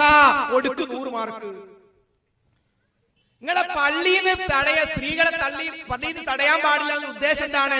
മതപരമായ ആവശ്യത്തിന് ഒരു രണ്ടരക്കായി നിസ്കരിക്കാനോ? റമലാ മാസത്തിൽ നിർത്തിക്കാതിരിക്കാൻ ഒരു പെണ്ണ് തീരുമാനിച്ചാൽ അവൾക്ക് പള്ളിയിൽ പോകാം. അൽ മുഅല്ലിം മാസികയിലാണ് പറയുന്നത്. ഇനി സഹോദരന്മാരെ പത്തുവിൽ ബാരിയിലും കൃത്യമായി വളരെ കൃത്യമായി ഈ കാര്യങ്ങൾ പറയുന്നുണ്ട്. എല്ലാം നമ്മളെ കേൾപ്പിക്കാൻ സമയമില്ല. ഏറ്റവും വലിയ ഇസ്ലാം മത ഗ്രന്ഥം എന്ന് ഇവർ തന്നെ പറഞ്ഞ ഇഹിയാഉലൂമുദ്ദീനിൽ പറയുകയാണ്. ഒരു ചോദ്യമാണ്. സ്ത്രീകൾക്ക് നമസ്കാരത്തിന് പള്ളിയിൽ പോകൽ അനുവദനീയമാണോ? മഹാനായ ഇമാം റാസി തങ്ങൾ ഇമാം തങ്ങൾ ഇമാം തങ്ങൾ എന്നൊക്കെ പറഞ്ഞ് ഇവർ തന്നെ പരിചയപ്പെടുന്ന ഇമാം ഗസാലിയുടെ ഇഹിയാഉലൂമുദ്ദീനിൽ കൃത്യമായി കാണാം ഒരു ചോദ്യം. ആ ചോദ്യത്തിന് ഉത്തരം കേട്ടോളൂ. സ്ത്രീകൾക്ക് പള്ളിയിൽ പോകൽ നബി സല്ലല്ലാഹു അലൈഹി വസല്ലം അനുവദിച്ചിട്ടുണ്ടായിരുന്നു. ഇക്കാലത്ത് കിഴവികൾക്കല്ലാതെ പള്ളിയിൽ പോകാൻ അനുവദിക്കാതിരിക്കലാണ് ഉത്തമം. വയസ്സത്തിൽ മാത്രം പോയാ മതി. അപ്പൊ പിന്നെ ഉത്തരേതിയാക്കി പിന്നെ ഇമാം ഒസാലി പിന്നെയും പറയാണ് ഇക്കാലത്തും മതനിഷ്ഠയുള്ള സ്ത്രീക്ക് തന്റെ ഭർത്താവിന്റെ സമ്മതപ്രകാരം പള്ളിയിലേക്ക് പോകൽ അനുവദനീയമാണ്. ഇനി ബോധമുണ്ട് ശരിക്കും. പിന്നെ മറക്കേണ്ട ഭാഗമൊക്കെ മറച്ച് അടക്കത്തോട് ഒതുക്കത്തോടുകൂടി ഭർത്താവിന്റെ സമ്മതം ഉണ്ടെങ്കിൽ ഇക്കാലത്തിനും പെണ്ണിന് പള്ളിയിൽ പോകാം എന്ന് കൃത്യമായി എഴുതിയിരിക്കുന്നു. ഇനി സഹോദരന്മാരെ നമ്മുടെ സാദിഖലി ശിഹാബ് തങ്ങൾ അദ്ദേഹം എസ് കെ എസ് എഫിന്റെ പ്രസിഡന്റ് ആയിക്കൊണ്ട് ഇരിക്കെ അദ്ദേഹം ഒരു വലിയ പ്രസ്താവന എടുത്തു. അദ്ദേഹം പറഞ്ഞു സാഗല റെയിൽവേ സ്റ്റേഷന്റെ അടുത്തും സാഗല എയർപോർട്ടിന്റെ അടുത്തും സാഗല ബസ് സ്റ്റാൻഡ് അടുത്തും സ്ത്രീകൾക്ക് പള്ളി പോകാൻ സൗകര്യം ഉണ്ടാക്കണം. എന്റെ ഒരു സുഹൃത്തു കൂടിയാണ് അദ്ദേഹം. അദ്ദേഹം വളരെ കൃത്യമായിട്ട് പറഞ്ഞു ഇത് തന്നെയാണ് തങ്ങളെ ഞങ്ങൾ നേരത്തെ പറഞ്ഞത്. ആൾക്കാർ കാസർഗോഡ് ടൗണിൽ വന്ന് ആശുപത്രി ചെയ്യും നിസ്കരിക്കാൻ. അതുകൊണ്ട് സ്ത്രീകൾക്ക് നമസ്കരിക്കാൻ സൗകര്യം വേണം. ഇതാ സത്യധാര എഴുതുന്നു തൊണ്ണൂറ്റി ഒമ്പത് ഏപ്രിൽ. സത്യത്തിൽ സത്യം പറയാണ്. സ്ത്രീ പ്രവേശ സള്ളിപ്രവേശം ഇസ്ലാമിൽ ഒരു വിവാദ വിഷയമേ അല്ല. സ്ത്രീകൾക്ക് പള്ളിയിൽ പ്രവേശിക്കാൻ പാടില്ലെന്ന് മുസ്ലിങ്ങൾ ആരും പറയുന്നില്ല. തീവ്രവാദി സുന്നികളായ എ പികൾ അങ്ങനെ പറയുന്നുണ്ടോ ആവോ? അവർക്കറിയില്ല എപ്പോഴൊക്കെ അങ്ങനെ പറയുന്നുണ്ടോ ആവോ? അവരുടെ വാദഗതികൾ അവർക്ക് തന്നെ വിശ്വാസമില്ലാത്തതിനാൽ അങ്ങനെ വാദം ഉണ്ടെങ്കിൽ തന്നെ പരിഗണിക്കണമെന്നില്ല. അങ്ങനെ പറഞ്ഞാൽ നിങ്ങൾ പരിഗണിക്കണ്ട. നിങ്ങൾ പിന്നെ പള്ളി സ്ത്രീകളെ കൊണ്ടുപോയിക്കോളുന്ന അർത്ഥത്തിൽ. മാത്രമല്ല ഹിന്ദുക്കളുടെ ചില വിശുദ്ധ ക്ഷേത്രങ്ങളിൽ സ്ത്രീകളും താഴ്ന്ന ജാതിക്കാരും പ്രവേശിക്കാൻ പാടില്ലെന്നും പ്രവേശിച്ചാൽ ആ സ്ഥലം മലിനമാകുമെന്നും വിശ്വസിക്കപ്പെടുന്നത് പോലെ സ്ത്രീകൾക്ക് പ്രവേശിക്കാൻ പറ്റാത്ത ഒരു സ്ഥലവും മുസ്ലിങ്ങൾക്കില്ല. പുരുഷൻ പ്രവേശിക്കുന്നത് പോലെ ഏത് സ്ഥലത്തും സ്ത്രീകൾക്ക് പ്രവേശിക്കാം. പക്ഷേ സ്ത്രീകളുടെ സുരക്ഷിതത്വത്തിനും അച്ചടക്കത്തിനും ഏറെ പ്രാധാന്യം കൽപ്പിച്ച ഇസ്ലാം പുരുഷന്മാർ പങ്കെടുക്കുന്ന പല വേദികളിലും സ്ത്രീകൾക്ക് അനുമതി നിഷേധിക്കുകയോ നിരുത്സാഹപ്പെടുത്തുകയോ ചെയ്തിട്ടുണ്ട്. ജുമ ജമാഅത്ത് യുദ്ധം ജനാസയെ അനുഗമിക്കൽ എന്നിവ അവയിൽ ചിലതു മാത്രമാണ്. പള്ളിയിൽ വെച്ചുള്ള ജുമ ജമാഅത്തിന് പുരുഷന്മാരെ ഇസ്ലാം പ്രേരിപ്പിച്ചപ്പോൾ സ്ത്രീകളെ നിരുത്സാഹപ്പെടുത്തുകയും അത് വീട്ടിൽ വെച്ച് നിർവഹിക്കാൻ ആഹ്വാനം ചെയ്യുകയുമാണ് ഇസ്ലാം ചെയ്തത്. സാഹചര്യം അനുകൂലമാണെങ്കിൽ ഞാൻ പൂർണമായി വായിക്കാൻ കാരണം കുറച്ച് വായിച്ചത് പറയാനിത് ഈ ഭാഗം. ഇവിടെ മൊത്തം വായിക്കുന്നത്. സാഹചര്യം അനുകൂലമാണെങ്കിൽ പള്ളിയിൽ വരുന്നത് കർശനമായി തടയരുതെന്ന് പറഞ്ഞ പ്രവാചകൻ വരികയാണെങ്കിൽ ചില ഉപാധികൾ പാലിക്കണമെന്ന് സൂചിപ്പിച്ചിട്ടുണ്ട്. സുഗന്ധവും നല്ല വസ്ത്രവും ആഭരണങ്ങളും തുടങ്ങി പുരുഷന്മാരെ ആകർഷിക്കുന്ന യാതൊന്നും അവരിൽ ഉണ്ടാകരുതെന്ന് നബിവചനങ്ങൾ സൂചിപ്പിക്കുന്നുണ്ട്. ഇത്തരം ഹദീസുകളുടെ അന്തസ്സത്തെ ഗ്രഹിച്ച ഖുർആൻ ഹദീസ് വ്യാഖ്യാതാക്കളും കർമ്മശാസ്ത്ര പണ്ഡിതന്മാരും സ്ത്രീകൾ പള്ളിയിൽ പോകുന്നത് അനുവദിക്കണമെങ്കിൽ അമ്നുൽ ഫിത്ന സമ്പൂർണ സുരക്ഷിതത്വമുള്ള ഒരു സാഹചര്യം ഉണ്ടാകണമെന്ന് നിഷ്കർഷിക്കുന്നു. സുരക്ഷിതത്വമുള്ള കാലഘട്ടത്തിൽ സ്ത്രീകൾക്ക് പള്ളിയിൽ പോകുന്നത് തടയണം പോകുന്നത് തടയണമെന്ന് ലോക പണ്ഡിതന്മാർ ഏകകണ്ഠമായി അഭിപ്രായപ്പെടുന്നു. സുരക്ഷിതത്വമുള്ള കാലഘട്ടമല്ലെങ്കിൽ സ്ത്രീകൾ പള്ളിയിൽ പോകുന്നത് തടയണമെന്ന് ലോക പണ്ഡിതന്മാർ ഏകകണ്ഠമായി അഭിപ്രായപ്പെടുന്നു. അപ്പൊ ഈ പള്ളിപ്രവേശത്തെ എതിർക്കുന്ന എസ് കെ എസ് എസ് കൃത്യമായിട്ട് കാര്യം പറഞ്ഞതാണ്. സുരക്ഷിതത്തുണ്ടെങ്കിലേ പോകാൻ പറ്റൂ. അതില്ലെങ്കിൽ തടയണം. എങ്കിൽ സഹോദരന്മാരെ അതില്ലാത്ത കാലാണെങ്കിൽ ഉപ്പാപ്പന്റെ ഉറൂസിൽ എത്ര പെണ്ണുങ്ങളാ പോയത്? ഒരു പ്രശ്നവും ഇല്ലല്ലോ. സകല ജാനത്തിൽ പോകാം. അവിടെ മക്കനെയും വേണ്ട വേറൊന്നും വേണ്ട. അവിടൊക്കെ ഫുൾ ലൈസൻസ് അവിടെ പകൽ രാത്രി വ്യത്യാസമല്ല. അപ്പൊ സുരക്ഷിതത്തിന്റെ പ്രശ്നം അവിടെ അല്ലേ അതുകൊണ്ട് തന്നെ ഹദീസിനെ കൊച്ചാക്കരുത് സഹോദരന്മാരെ. മുജാഹിദ് പ്രസ്ഥാനം പുതുതായി ഈ സമൂഹത്തോട് പറഞ്ഞൊരാശയല്ല ഇത്. നോക്കൂ ജാറ മഹോത്സവങ്ങളിൽ സ്ത്രീകളും പുരുഷന്മാരും കൂടി ചേർന്ന നൂറുകണക്കിന് ഫോട്ടോകളിൽ ചിലതാണിത്. സ്ത്രീ പുരുഷ സംഗമം കോഴിക്കോട് അപ്പവാണി നേർച്ച സ്ത്രീകളും പുരുഷന്മാരും അക്കനെ പോടില്ലാത്ത പെണ്ണുങ്ങളാണ് പുരുഷന്മാരായിട്ട് തിരക്കുണ്ടാക്കുന്നത്. എന്തേ? അന്നം വാങ്ങാൻ. അജ്മീർ ദർഗാ ശരീഫ് വളരെ കൃത്യമായിട്ട് യാതൊരു ഒരു ഒരു തട്ടം മാത്രം മുഖമക്കനെ ഇല്ല ഇസ്ലാമിന്റെ യൂണിഫോം ധരിച്ചിട്ടില്ല. അതേപോലെ പുത്തൻപള്ളി നേർച്ച. പുത്തൻപള്ളി നേർച്ചയിൽ ഇവിടെ തലയിൽ അല്പം മാത്രം ഭാഗം തട്ടമിട്ട സ്ത്രീകളാണ് കൂടുതൽ ഇതിലുള്ളത്. ഇതൊക്കെ ജാറങ്ങളായ ജാറങ്ങളിലൊക്കെ ഈ കാര്യം നടന്നുകൊണ്ടിരിക്കുന്നു. എന്നാൽ മുജാഹിദ് പ്രസ്ഥാനം ഖുർആാനിന്റെയും ഹദീസിന്റെയും അടിസ്ഥാനത്തിൽ സ്ത്രീകളെ പള്ളിയിൽ തടയാൻ പാടില്ല എന്ന് കൃത്യമായി പറയുന്നു. മഹാനായ റസൂലുള്ളാഹി സ്വല്ലല്ലാഹു അലൈഹി വസല്ലം ജുമാ ജമാഅത്തുകൾക്ക് നേതൃത്വം കൊടുത്ത മക്കയിലെയും മദീനയിലെയും പള്ളിയിൽ അന്ന് മുതൽ ഇന്ന് വരെ സ്ത്രീകൾ ജുമഅ ജമാഅത്തുകൾക്ക് വരുന്നുണ്ട്. അണങ്കൂരിന്ന് ഹജ്ജിന് പോയ പെണ്ണുങ്ങളില്ലേ? സ്വകാര്യം ചോദിക്കുക അല്ല നിങ്ങൾ മദീനത്തെ പള്ളിയിലൊക്കെ പോയി പെണ്ണുങ്ങളുണ്ട്? ബാബു നിസാ. സ്ത്രീകളുടെ വാതിൽ വാതിൽ തന്നെ അവിടെ ഞാനാണ് നിസ്കരിച്ചാണ് ഈ ഇക്കൊല്ല ഹജ്ജിന് പോയ പെണ്ണുങ്ങൾ പറയൂലേ? ഉണ്ട്.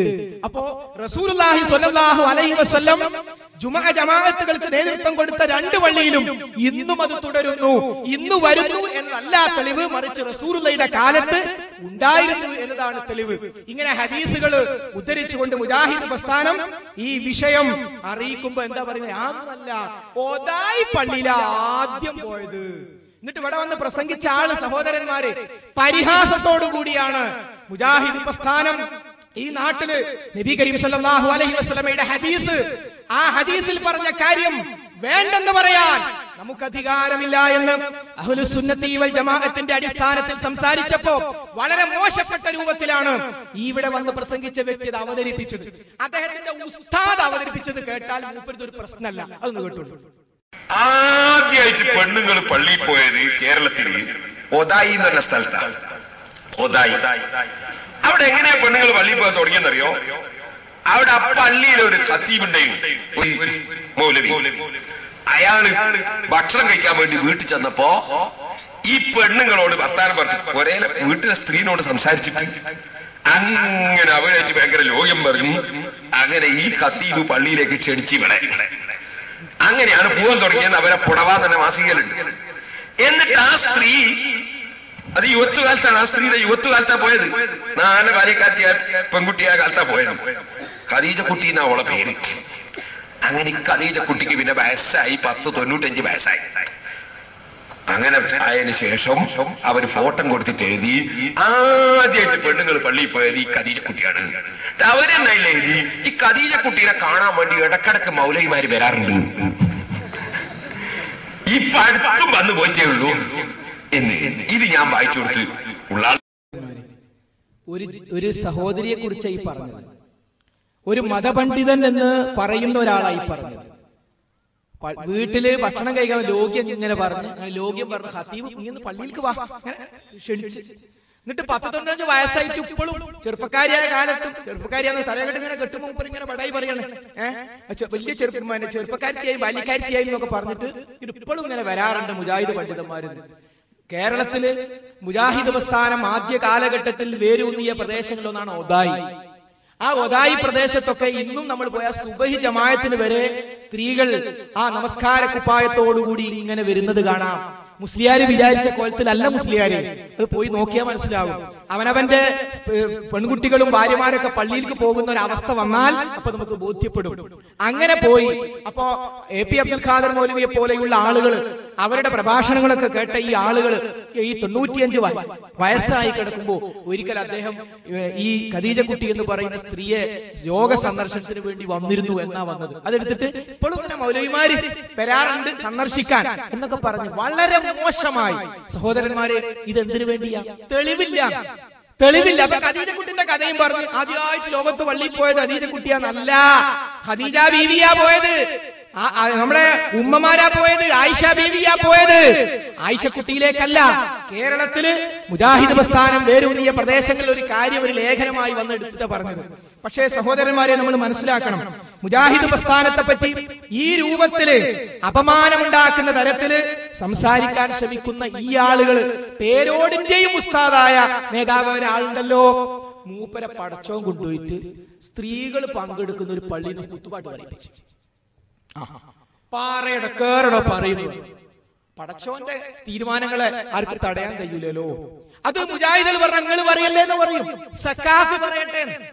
കാന്തപുരത്തിന്റെ തട്ടിപ്പുകൾ മനസ്സിലാക്കി ഔദ്യോഗിക സംസ്ഥയിലേക്ക് പോയ ഹസൻ സക്കാഫ് എന്ന് പറയട്ടെ.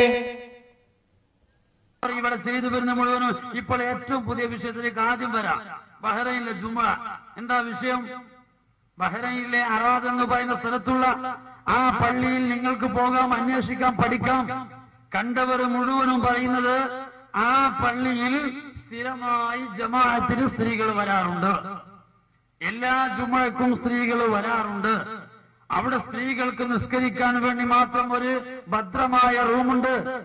ആ റൂമിൽ റൂമിന്റെ ഒരു ഭാഗത്ത് എന്ന് പറയുന്ന ബോർഡ് കാണാം. അതിലേക്കുള്ള എൻട്രൻസ് വഴിയിൽ കാണാം. എന്നുള്ള ബോർഡ് കാണാം. അവിടെ സ്ത്രീകൾ ഒന്നു ചെയ്യുന്ന ഭാഗത്ത് മഹല്ലു നിസാ എന്ന് പറഞ്ഞ ഒന്നു ചെയ്യാൻ പ്രത്യേകമായ ഭാഗം കാണാം. ഈ ഒരു പള്ളിയിൽ കഴിഞ്ഞ വെള്ളിയാഴ്ച ഹുത്തുബ നിർവഹിച്ചപ്പോ എ പി അബൂബക്കർ എന്ന് പറയുന്ന ആൾ പെണ്ണുങ്ങളെ കണ്ടില്ലാന്ന മൂപ്പര പരാതി. പരാതി അതാ ഇതാ.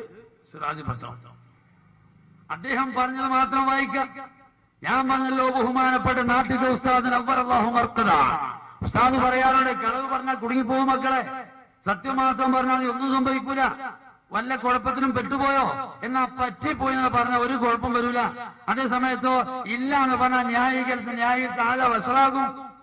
അതുകൊണ്ട് ഇയാൾക്ക് പറഞ്ഞാൽ മതിയായിരുന്നു. ഞാൻ ആ പോയ പള്ളിയിൽ പെണ്ണുങ്ങളെ കണ്ടിട്ടില്ല. കാരണം എന്താ?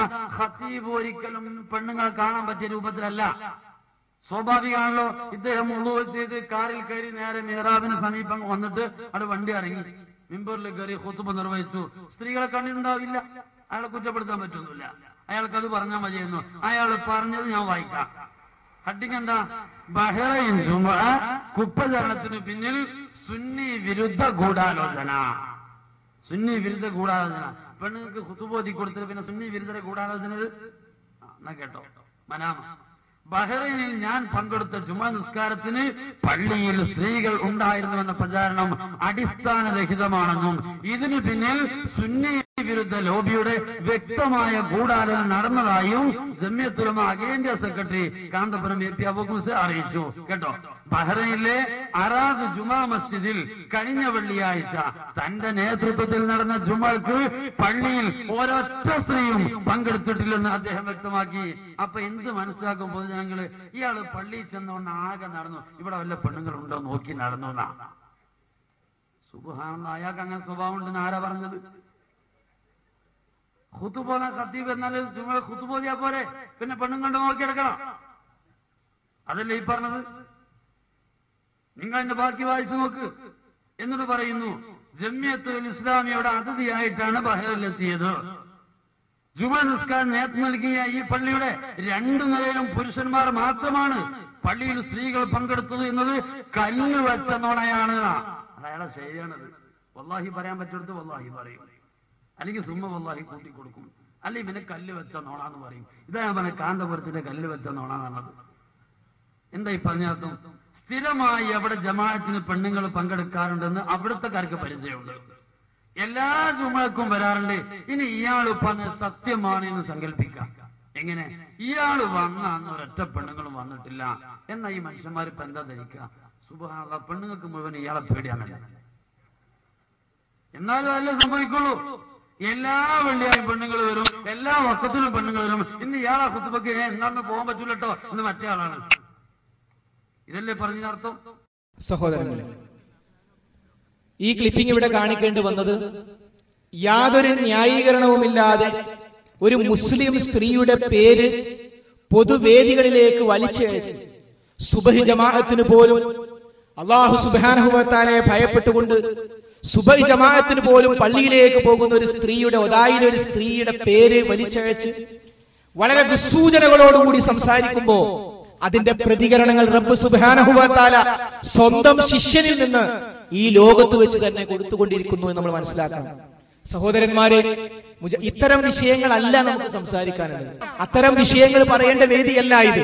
അതുകൊണ്ട് ഇനിയെങ്കിലും മഹാനായ നബി കരീം സല്ലല്ലാഹു അലൈഹി വസല്ലമ മഹാനായ റസൂലുള്ളയുടെ കാലത്ത് സ്വഹാബി വനിതകൾ ചെയ്ത കാര്യം നമ്മുടെ സഹോദരിമാർ ചെയ്യാൻ തുനിയുമ്പോ അതിനെ തടയാൻ നമുക്ക് ന്യായമില്ല എന്ന മുജാഹിദ് പ്രസ്ഥാനം പറയുന്ന അഹുലുസുന്നത്തി വൽ ജമാഅത്തിന്റെ വാദം എസ് കെ എസ് എഫിന്റെ മുൻ സംസ്ഥാന പ്രസിഡന്റുമാര് പ്രസ്ഥാന പ്രസ്താവനകളിലൂടെ ജനങ്ങളോട് പറയുമ്പോ നാടായ നാടായ പള്ളികളിലൊക്കെ പള്ളിയുടെ മുന്നിൽ സ്ത്രീകൾക്ക് നമസ്കരിക്കാൻ പ്രത്യേക സൗകര്യം. യാത്രക്കാരായ സ്ത്രീകൾ പ്രത്യേകം ശ്രദ്ധിക്കുക. ബോർഡൊക്കെ എന്ന് വന്നതാ. മുജാഹിദ് പ്രസ്ഥാനത്തിന്റെ പ്രവർത്തനം കൊണ്ട് വന്നതാണ്. അതുകൊണ്ട് സഹോദരന്മാരെ ദീർഘിപ്പിച്ചു കൊണ്ടുപോകാൻ നമുക്ക് സമയമില്ല. സമയപരിമിതി അനുവദിക്കുന്നില്ല. അതുകൊണ്ട് തന്നെ ഞാൻ ചുരുക്കുകയാണ്. അഹ്ലുസുന്നത്തി വൽ ജമാ ആ അടിസ്ഥാനപരമായ ആദർശം. അത് മാത്രമാണ് വിജയത്തിന്റെ മാർഗം. പക്ഷേ ഈ യഥാർത്ഥ ആശയം കൊണ്ടു നടക്കുന്ന മുജാഹിദ് പ്രവർത്തകര് സലഫി പ്രവർത്തകര് അവരുടെ മയ്യത്ത് നമസ്കരിക്കാൻ പറ്റുമോ എന്നാണ് ചില ആളുകൾ ഇപ്പോൾ ചർച്ച ചെയ്തുകൊണ്ടിരിക്കുന്നത്. നമ്മൾക്ക് അവരോട് പറയാനുള്ളത് നിങ്ങൾ വല്ലാതെ ബേജാറാകണ്ട. നിങ്ങൾ ഞങ്ങളെ മയ്യത്ത് നിസ്കരിച്ചിട്ടില്ലെങ്കിൽ ഈ തൗഹീദ് ഒന്ന് കേട്ടാ മതി. നിങ്ങളെ മയ്യത്ത് നിസ്കരിച്ചില്ലെങ്കിൽ ഓ നിസ്കരിക്കണേ എന്ന അപേക്ഷ തരാനൊന്നും വരുന്നില്ല. പക്ഷേ എന്താണ് ഷറയിൽ അതിന്റെ വിധി? എന്താണ് ഫിഖിൽ അതിനെ കുറിച്ച് പറയുന്നത്? നമ്മൾ മനസ്സിലാക്കേണ്ടതാണ്. മുജാഹിദ് പ്രസ്ഥാനം ആ മുജാഹിദ് പ്രസ്ഥാനത്തെ കുറിച്ച് അവരുടെ മയ്യത്ത് പോലും നിസ്കരിക്കരുത് സലാം പറയരുത് നോക്കരുത് ചിരിക്കരുത് എന്നൊക്കെ സംസാരിച്ചു കൊണ്ടിരിക്കുന്ന ആളുകൾ അവരുടെ നേതാവിന്റെ തൊട്ടടുത്താണ് എന്റെ താമസം. പൂനൂരിൽ കാന്തപുരത്തിന്റെ തൊട്ടടുത്ത്. കുഞ്ഞഹമ്മദ് മാസ്റ്റർ എന്ന് പറയുന്ന എന്റെ നാട്ടിലെ മുൻകാല മുജാഹിദ് ശക്തനായ മുജാഹിദ് വക്താവ്. അദ്ദേഹം മരിച്ചപ്പോ ഇന്ന് ജീവിച്ചിരിക്കുന്ന എന്റെ നാട്ടുകാരനായ കാന്തപുരം എ പി അബൂബക്കർ മുസ്ലിയാർ അദ്ദേഹത്തിന്റെ മയ്യത്ത് നമസ്കരിച്ചിരുന്നു. ഇവിടുന്ന് ആളുകൾക്ക് വേണമെങ്കിൽ ഒരു ചെറിയ വണ്ടി സംഘടിപ്പിച്ച് പൂനൂരിൻ തൊട്ടടുത്തുള്ള ചേപ്പാല എന്ന് പറയുന്ന പള്ളിയുടെ അടുത്ത് പോകാം. ഇങ്ങനെ സി പി സലീം എന്ന് പറഞ്ഞ ഒരാൾ ഞങ്ങളുടെ നാട്ടിൽ അണങ്കൂർ എന്തിനൊന്ന് പറഞ്ഞു. ഞാൻ അറിയാൻ വേണ്ടി വന്നതാ. ആർക്കും കുഞ്ഞമ്മദ് മാഷരുടെ മയ്യത്ത് നമസ്കാരം. അദ്ദേഹം ആ മാത്രല്ല. അത് ഇവർ തന്നെ പറയുന്നുണ്ട്. ഒരു ചോദ്യമാണ് ഇങ്ങനെ മുജാഹിദുകളുടെ മയ്യത്ത് നിസ്കരിക്കാൻ പറ്റുമോ ഇവർ തമ്മിൽ ഭയങ്കര വാദപ്രതിവാദം. ആ വാദപ്രതിവാദം കേട്ടാൽ ആണങ്കൂരിലെ യോഗം നിർത്താം. നിസ്കരിക്കാൻ പറ്റുമല്ലേ മുജാഹിദിയുടെ മയ്യത്ത് നിസ്കരിക്കാൻ പറ്റുമല്ലേ ആലിമീങ്ങൾ പറയട്ടെ നേതാക്കന്മാർ പറയട്ടെ.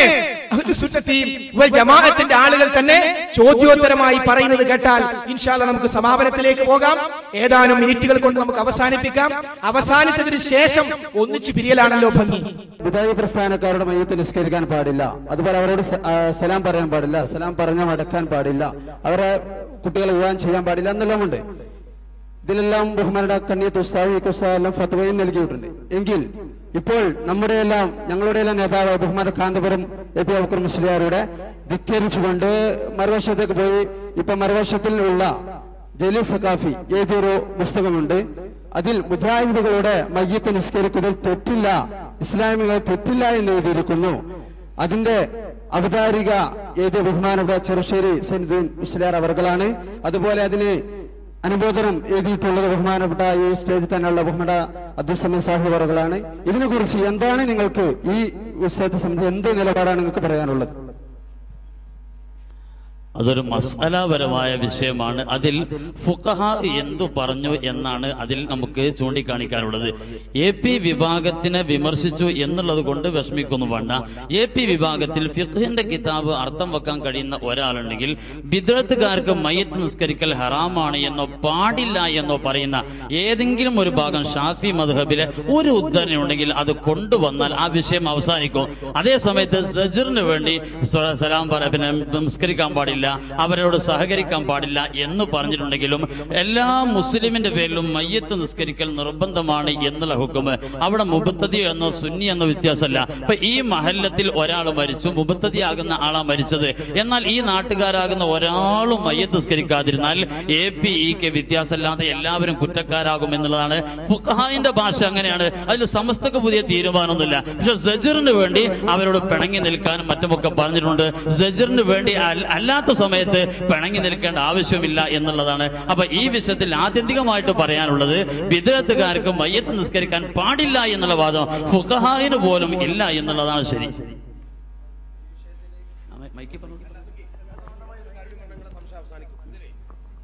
അനാവശ്യ കാര്യങ്ങൾ പറഞ്ഞുകൊണ്ട് ദീർഘിപ്പിക്കരുത്. നിങ്ങളെ സംശയപ്പോ അതിന്റെ മറുപടി പറഞ്ഞു. രണ്ട്. നിങ്ങൾക്ക് രണ്ട് തെളിവ് വേണമെങ്കിൽ. മറുഭാഗത്തുനിന്ന് അങ്ങനെ ഒരു ഘട്ടത്തിൽ ഈ മുജാ അറിയപ്പെട്ട മുജാഹിദിന് വേണ്ടി മയ്യത്ത് നമസ്കാരത്തിൽ മുന്നിലെ സോഫിൽ തന്നെ നിന്നും നാലാമത്തെ സോഫിൽ നിന്നും നിസ്കരിച്ച ആളുകളുടെ തെളിവ് നിങ്ങൾക്ക് തന്നാൽ ബോധ്യാവോ? ഒന്ന്. രണ്ട്. രണ്ടാമത്തത്. ഒരു ഇത് സംബന്ധമായി ഇപ്പൊ സക്കാഫിക്ക് ഒരു അനുഭവം ഉണ്ട് അപ്പുറത്ത് നിൽക്കുന്ന സമയത്ത് കണ്ണിയത്തുസ്ഥാന്റെ അടുത്ത് ടേപ്പ് റിക്കാർഡ് അരയിൽ വെച്ചിട്ട് ഒരു കോമ പോയി. ടേപ്പ് റിക്കാർഡൊക്കെ ഓണാക്കിയിട്ട് പറ്റൂല എന്ന് പറഞ്ഞാൽ വിഷയാക്കാം പറ്റുന്നു പറഞ്ഞാലും വിഷയാക്കാം. കണ്ണിയത്തുസ്ഥാദിന്റെ സൈലൻസ് ഉറക്ക ചോദിച്ചു ഇവരോട് നിങ്ങൾ പറഞ്ഞ മുജാഹിദ് മുസ്ലിമോ കാഫറോ എന്ന് ചോദിച്ചു. ടേപ്പ് റിക്കാർഡ് ഓഫാക്കി പോകുന്ന കൂട്ടത്തിലാ മൂപ്പര്. ഇനി വേണ്ടല്ലോ? അത്രേ ഉള്ളൂ. നേരത്തെ പറഞ്ഞ ഈ വിഷയം പറഞ്ഞ അപ്പൊ ഈ നേരത്തെ ഫത്വ കൊടുത്തിട്ടുണ്ടല്ലോ ഈ വിഷയത്തിൽ പാടില്ല എന്ന്. അപ്പൊ അവർക്ക് ഇത് മനസ്സിലാക്കിയിട്ടില്ലായിരുന്നോ? ഫത്വ എന്ന് പറയുന്നത് നിങ്ങൾ മനസ്സിലാക്കണം. അത് ഒരു ഹുക്കുമ പറയല്ല ഒരു സാഹചര്യത്തിൽ അവിടുത്തെ കാര്യങ്ങൾ പറയലല്ലേ ഫത്വ? ഫുഖഹാന്റെ കിതാബ് എടുത്തിട്ട് ഇന്ന് എ പി കൂട്ടത്തിൽ കിതാബ് എത്തുന്ന ആൾക്കാരെ വന്നോട്ടെ? അതിൽ ഏത് കിതാബ്? ഫത്തുഹുൽ മോനായിക്കോട്ടെ തുഫയാവട്ടെ മഹല്ലയാവട്ടെ അതെടുത്ത് നോക്കുക. ഫത്വ എന്ന് പറഞ്ഞാൽ ഒരു നാട്ടിലെ സാഹചര്യത്തിൽ ഒരു പക്ഷേ രണ്ട് കുടുംബം നമ്മൾ നിക്കാഹ് നടക്കാൻ പോകുക സമസ്ത ചിലപ്പോൾ ഇടപെട്ടിരുന്ന് വേണ്ടെന്ന് പറയേണ്ടി വരും. അത് നിക്കാഹ് ഹറാമായത് കൊണ്ടാവില്ല. ആ നാട്ടിലെ സാഹചര്യത്തിൽ ഇടപെട്ട് സംസാരിക്കുന്ന ഒരു വിധി എന്നല്ലാതെ അത് മസാല പറഞ്ഞതല്ല ഹുക്കുമ് പറയുമ്പോൾ അത് സൂക്ഷ്മമായി ഫുക്കഹാവ് പറഞ്ഞതേ പറയാൻ പറ്റുള്ളൂ. രൂക്ഷമായി ചോദിക്കാനുള്ള അപ്പൊ ഫത്വ എന്ന് പറയുമ്പോൾ ഇദ്ദേഹം പറഞ്ഞ പ്രത്യേക സാഹചര്യം അനുസരിച്ചാണ് കൊടുക്കുന്നത്. പക്ഷെ സമസ്ത എന്ന് പറഞ്ഞ ആധികാരിക സംഘടന കേരളത്തിലെ ഈ സമസ്ത എന്താണ് പറയുന്നത്? ഈ വിഷയത്തിൽ എന്ത് പറയുന്നു? എന്നായിരിക്കും കേരള ജനങ്ങൾ നോക്കുക. അപ്പൊ ഈ നിസ്കാരം എന്ന് പറഞ്ഞാൽ മുസ്ലിങ്ങളെ ബാധിക്കുന്ന പ്രശ്നമാണ്. ആ വിഷയത്തെ കുറിച്ച് ചോദിക്കുമ്പോൾ അപ്പൊ ആ നിലക്കായിരിക്കും മറുപടി ഉണ്ടാവുക. അപ്പോൾ അതിനെ കുറിച്ച് എന്ത് പറയും ഈ വിഷയം ഇവിടെ അവസാനിപ്പിക്കാം പെട്ടെന്ന് പറയട്ടെ. ഈ ഒരു ഫത്വ കഴിഞ്ഞിട്ടാണല്ലോ കാന്തപുരത്ത് ചേപ്പാലത്ത് കുഞ്ഞഹമ്മദ് മാസ്റ്റർ എന്ന് പറയുന്ന സാക്ഷാൽ വഹാബി നിസ്കരിച്ചപ്പോ എ പി അബൂബക്കർ മൗലവിപ്പെട്ട് മയ്യത്ത് നിസ്കരിച്ചത്.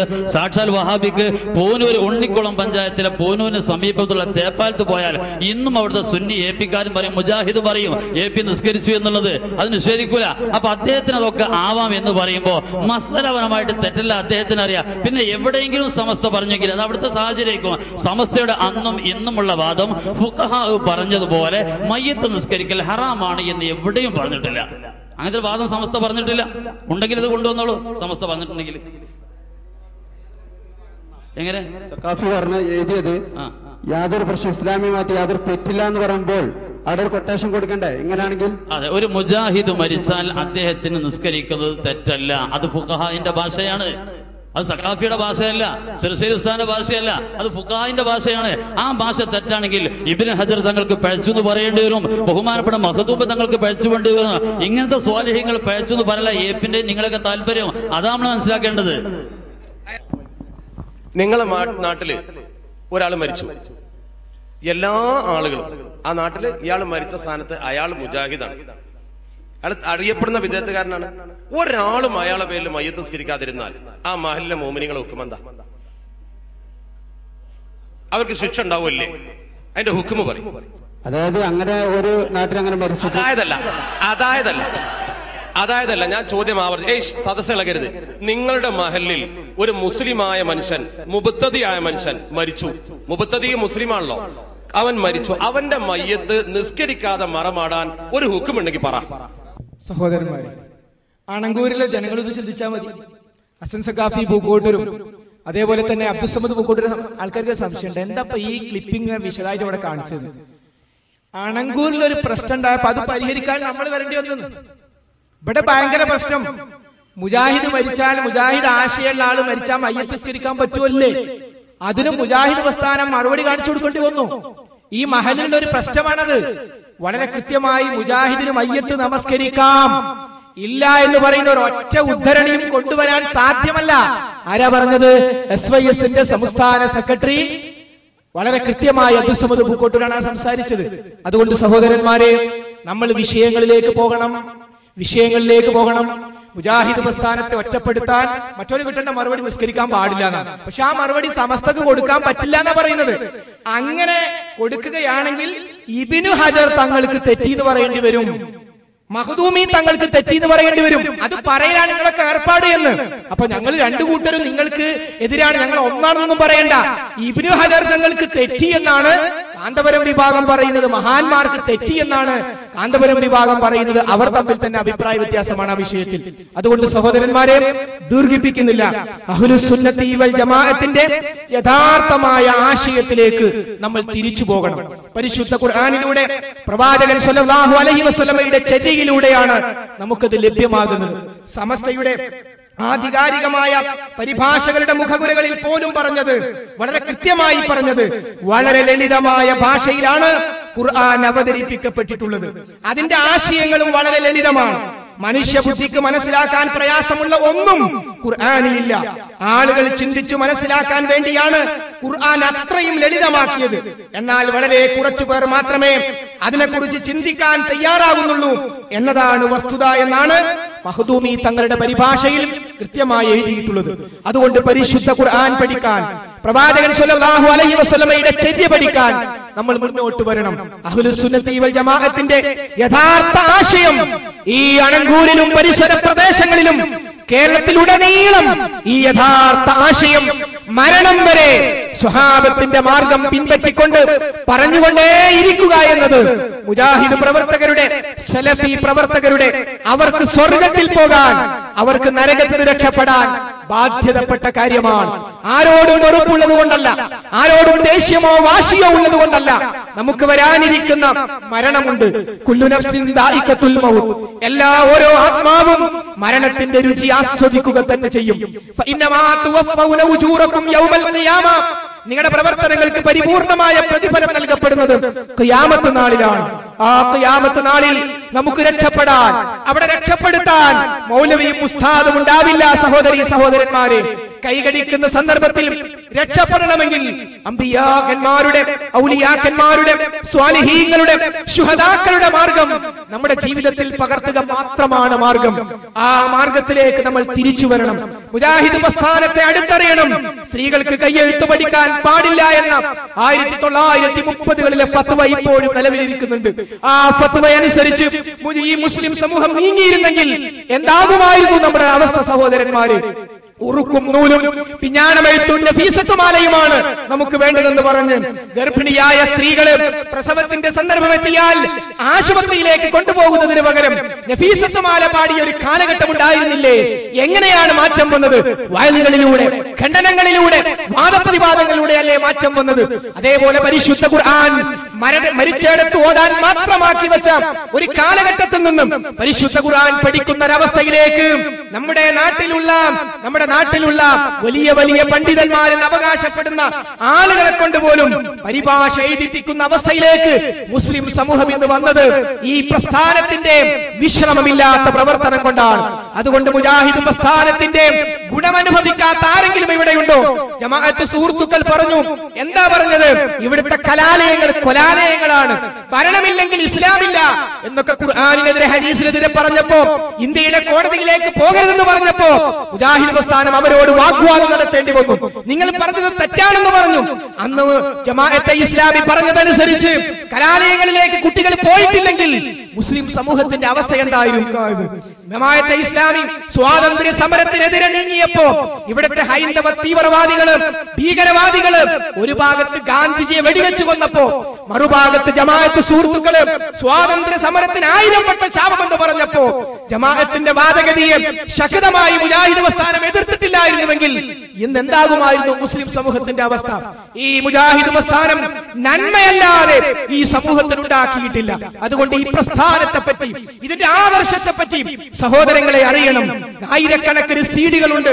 നമ്മളത് കാണണം കേൾക്കണം നമ്മുടെ പിഞ്ചോമന മക്കൾ. അവർ നമ്മൾ മരിച്ചാൽ ഖുർആൻ അറിയുന്ന അവർ നമുക്ക് വേണ്ടി മയ്യത്ത് നമസ്കരിക്കുന്ന അവസ്ഥ വരണം.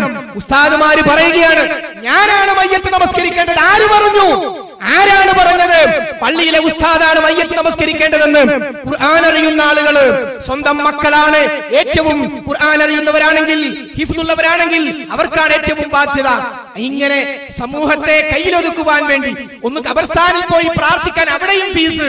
ഇങ്ങനെ സകലത്തിലും ഫീസ് നിശ്ചയിച്ച് മാലകളിലും മൗലൂദുകളിലും ആയിരം വട്ടം ശേഖന്മാരെ വിളിക്കുന്ന ഏർപ്പാടുകളിലും ഈ സമൂഹത്തെ തളച്ചിടാൻ സാധ്യമല്ല.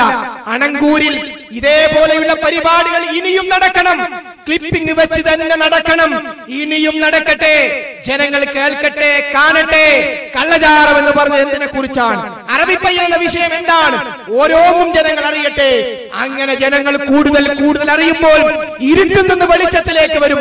ഈ അണങ്കൂരിൽ മുജാഹിദ് പ്രസ്ഥാനത്തിന് ഒരു പരിപാടി സംഘടിപ്പിക്കാൻ നാലാളെ കിട്ടാത്ത ഒരു കാലഘട്ടം ഉണ്ടായിരുന്നു അതിൽ നാലിൽ നിന്ന് നാൽപ്പതിലേക്ക് മഹല്ല് കമ്മിറ്റിയിൽ പോലും മുജാഹിദ് പ്രസ്ഥാനത്തിന്റെ വാദങ്ങൾ ശ്രദ്ധയോടുകൂടി കേൾക്കുന്ന ഒരവസ്ഥയിലേക്ക് എത്തിയത് ഞങ്ങളുടെ ആൽബലം കൊണ്ടല്ല മറിച്ച് ആദർശത്തിന്റെ ബലം കൊണ്ടാണ്.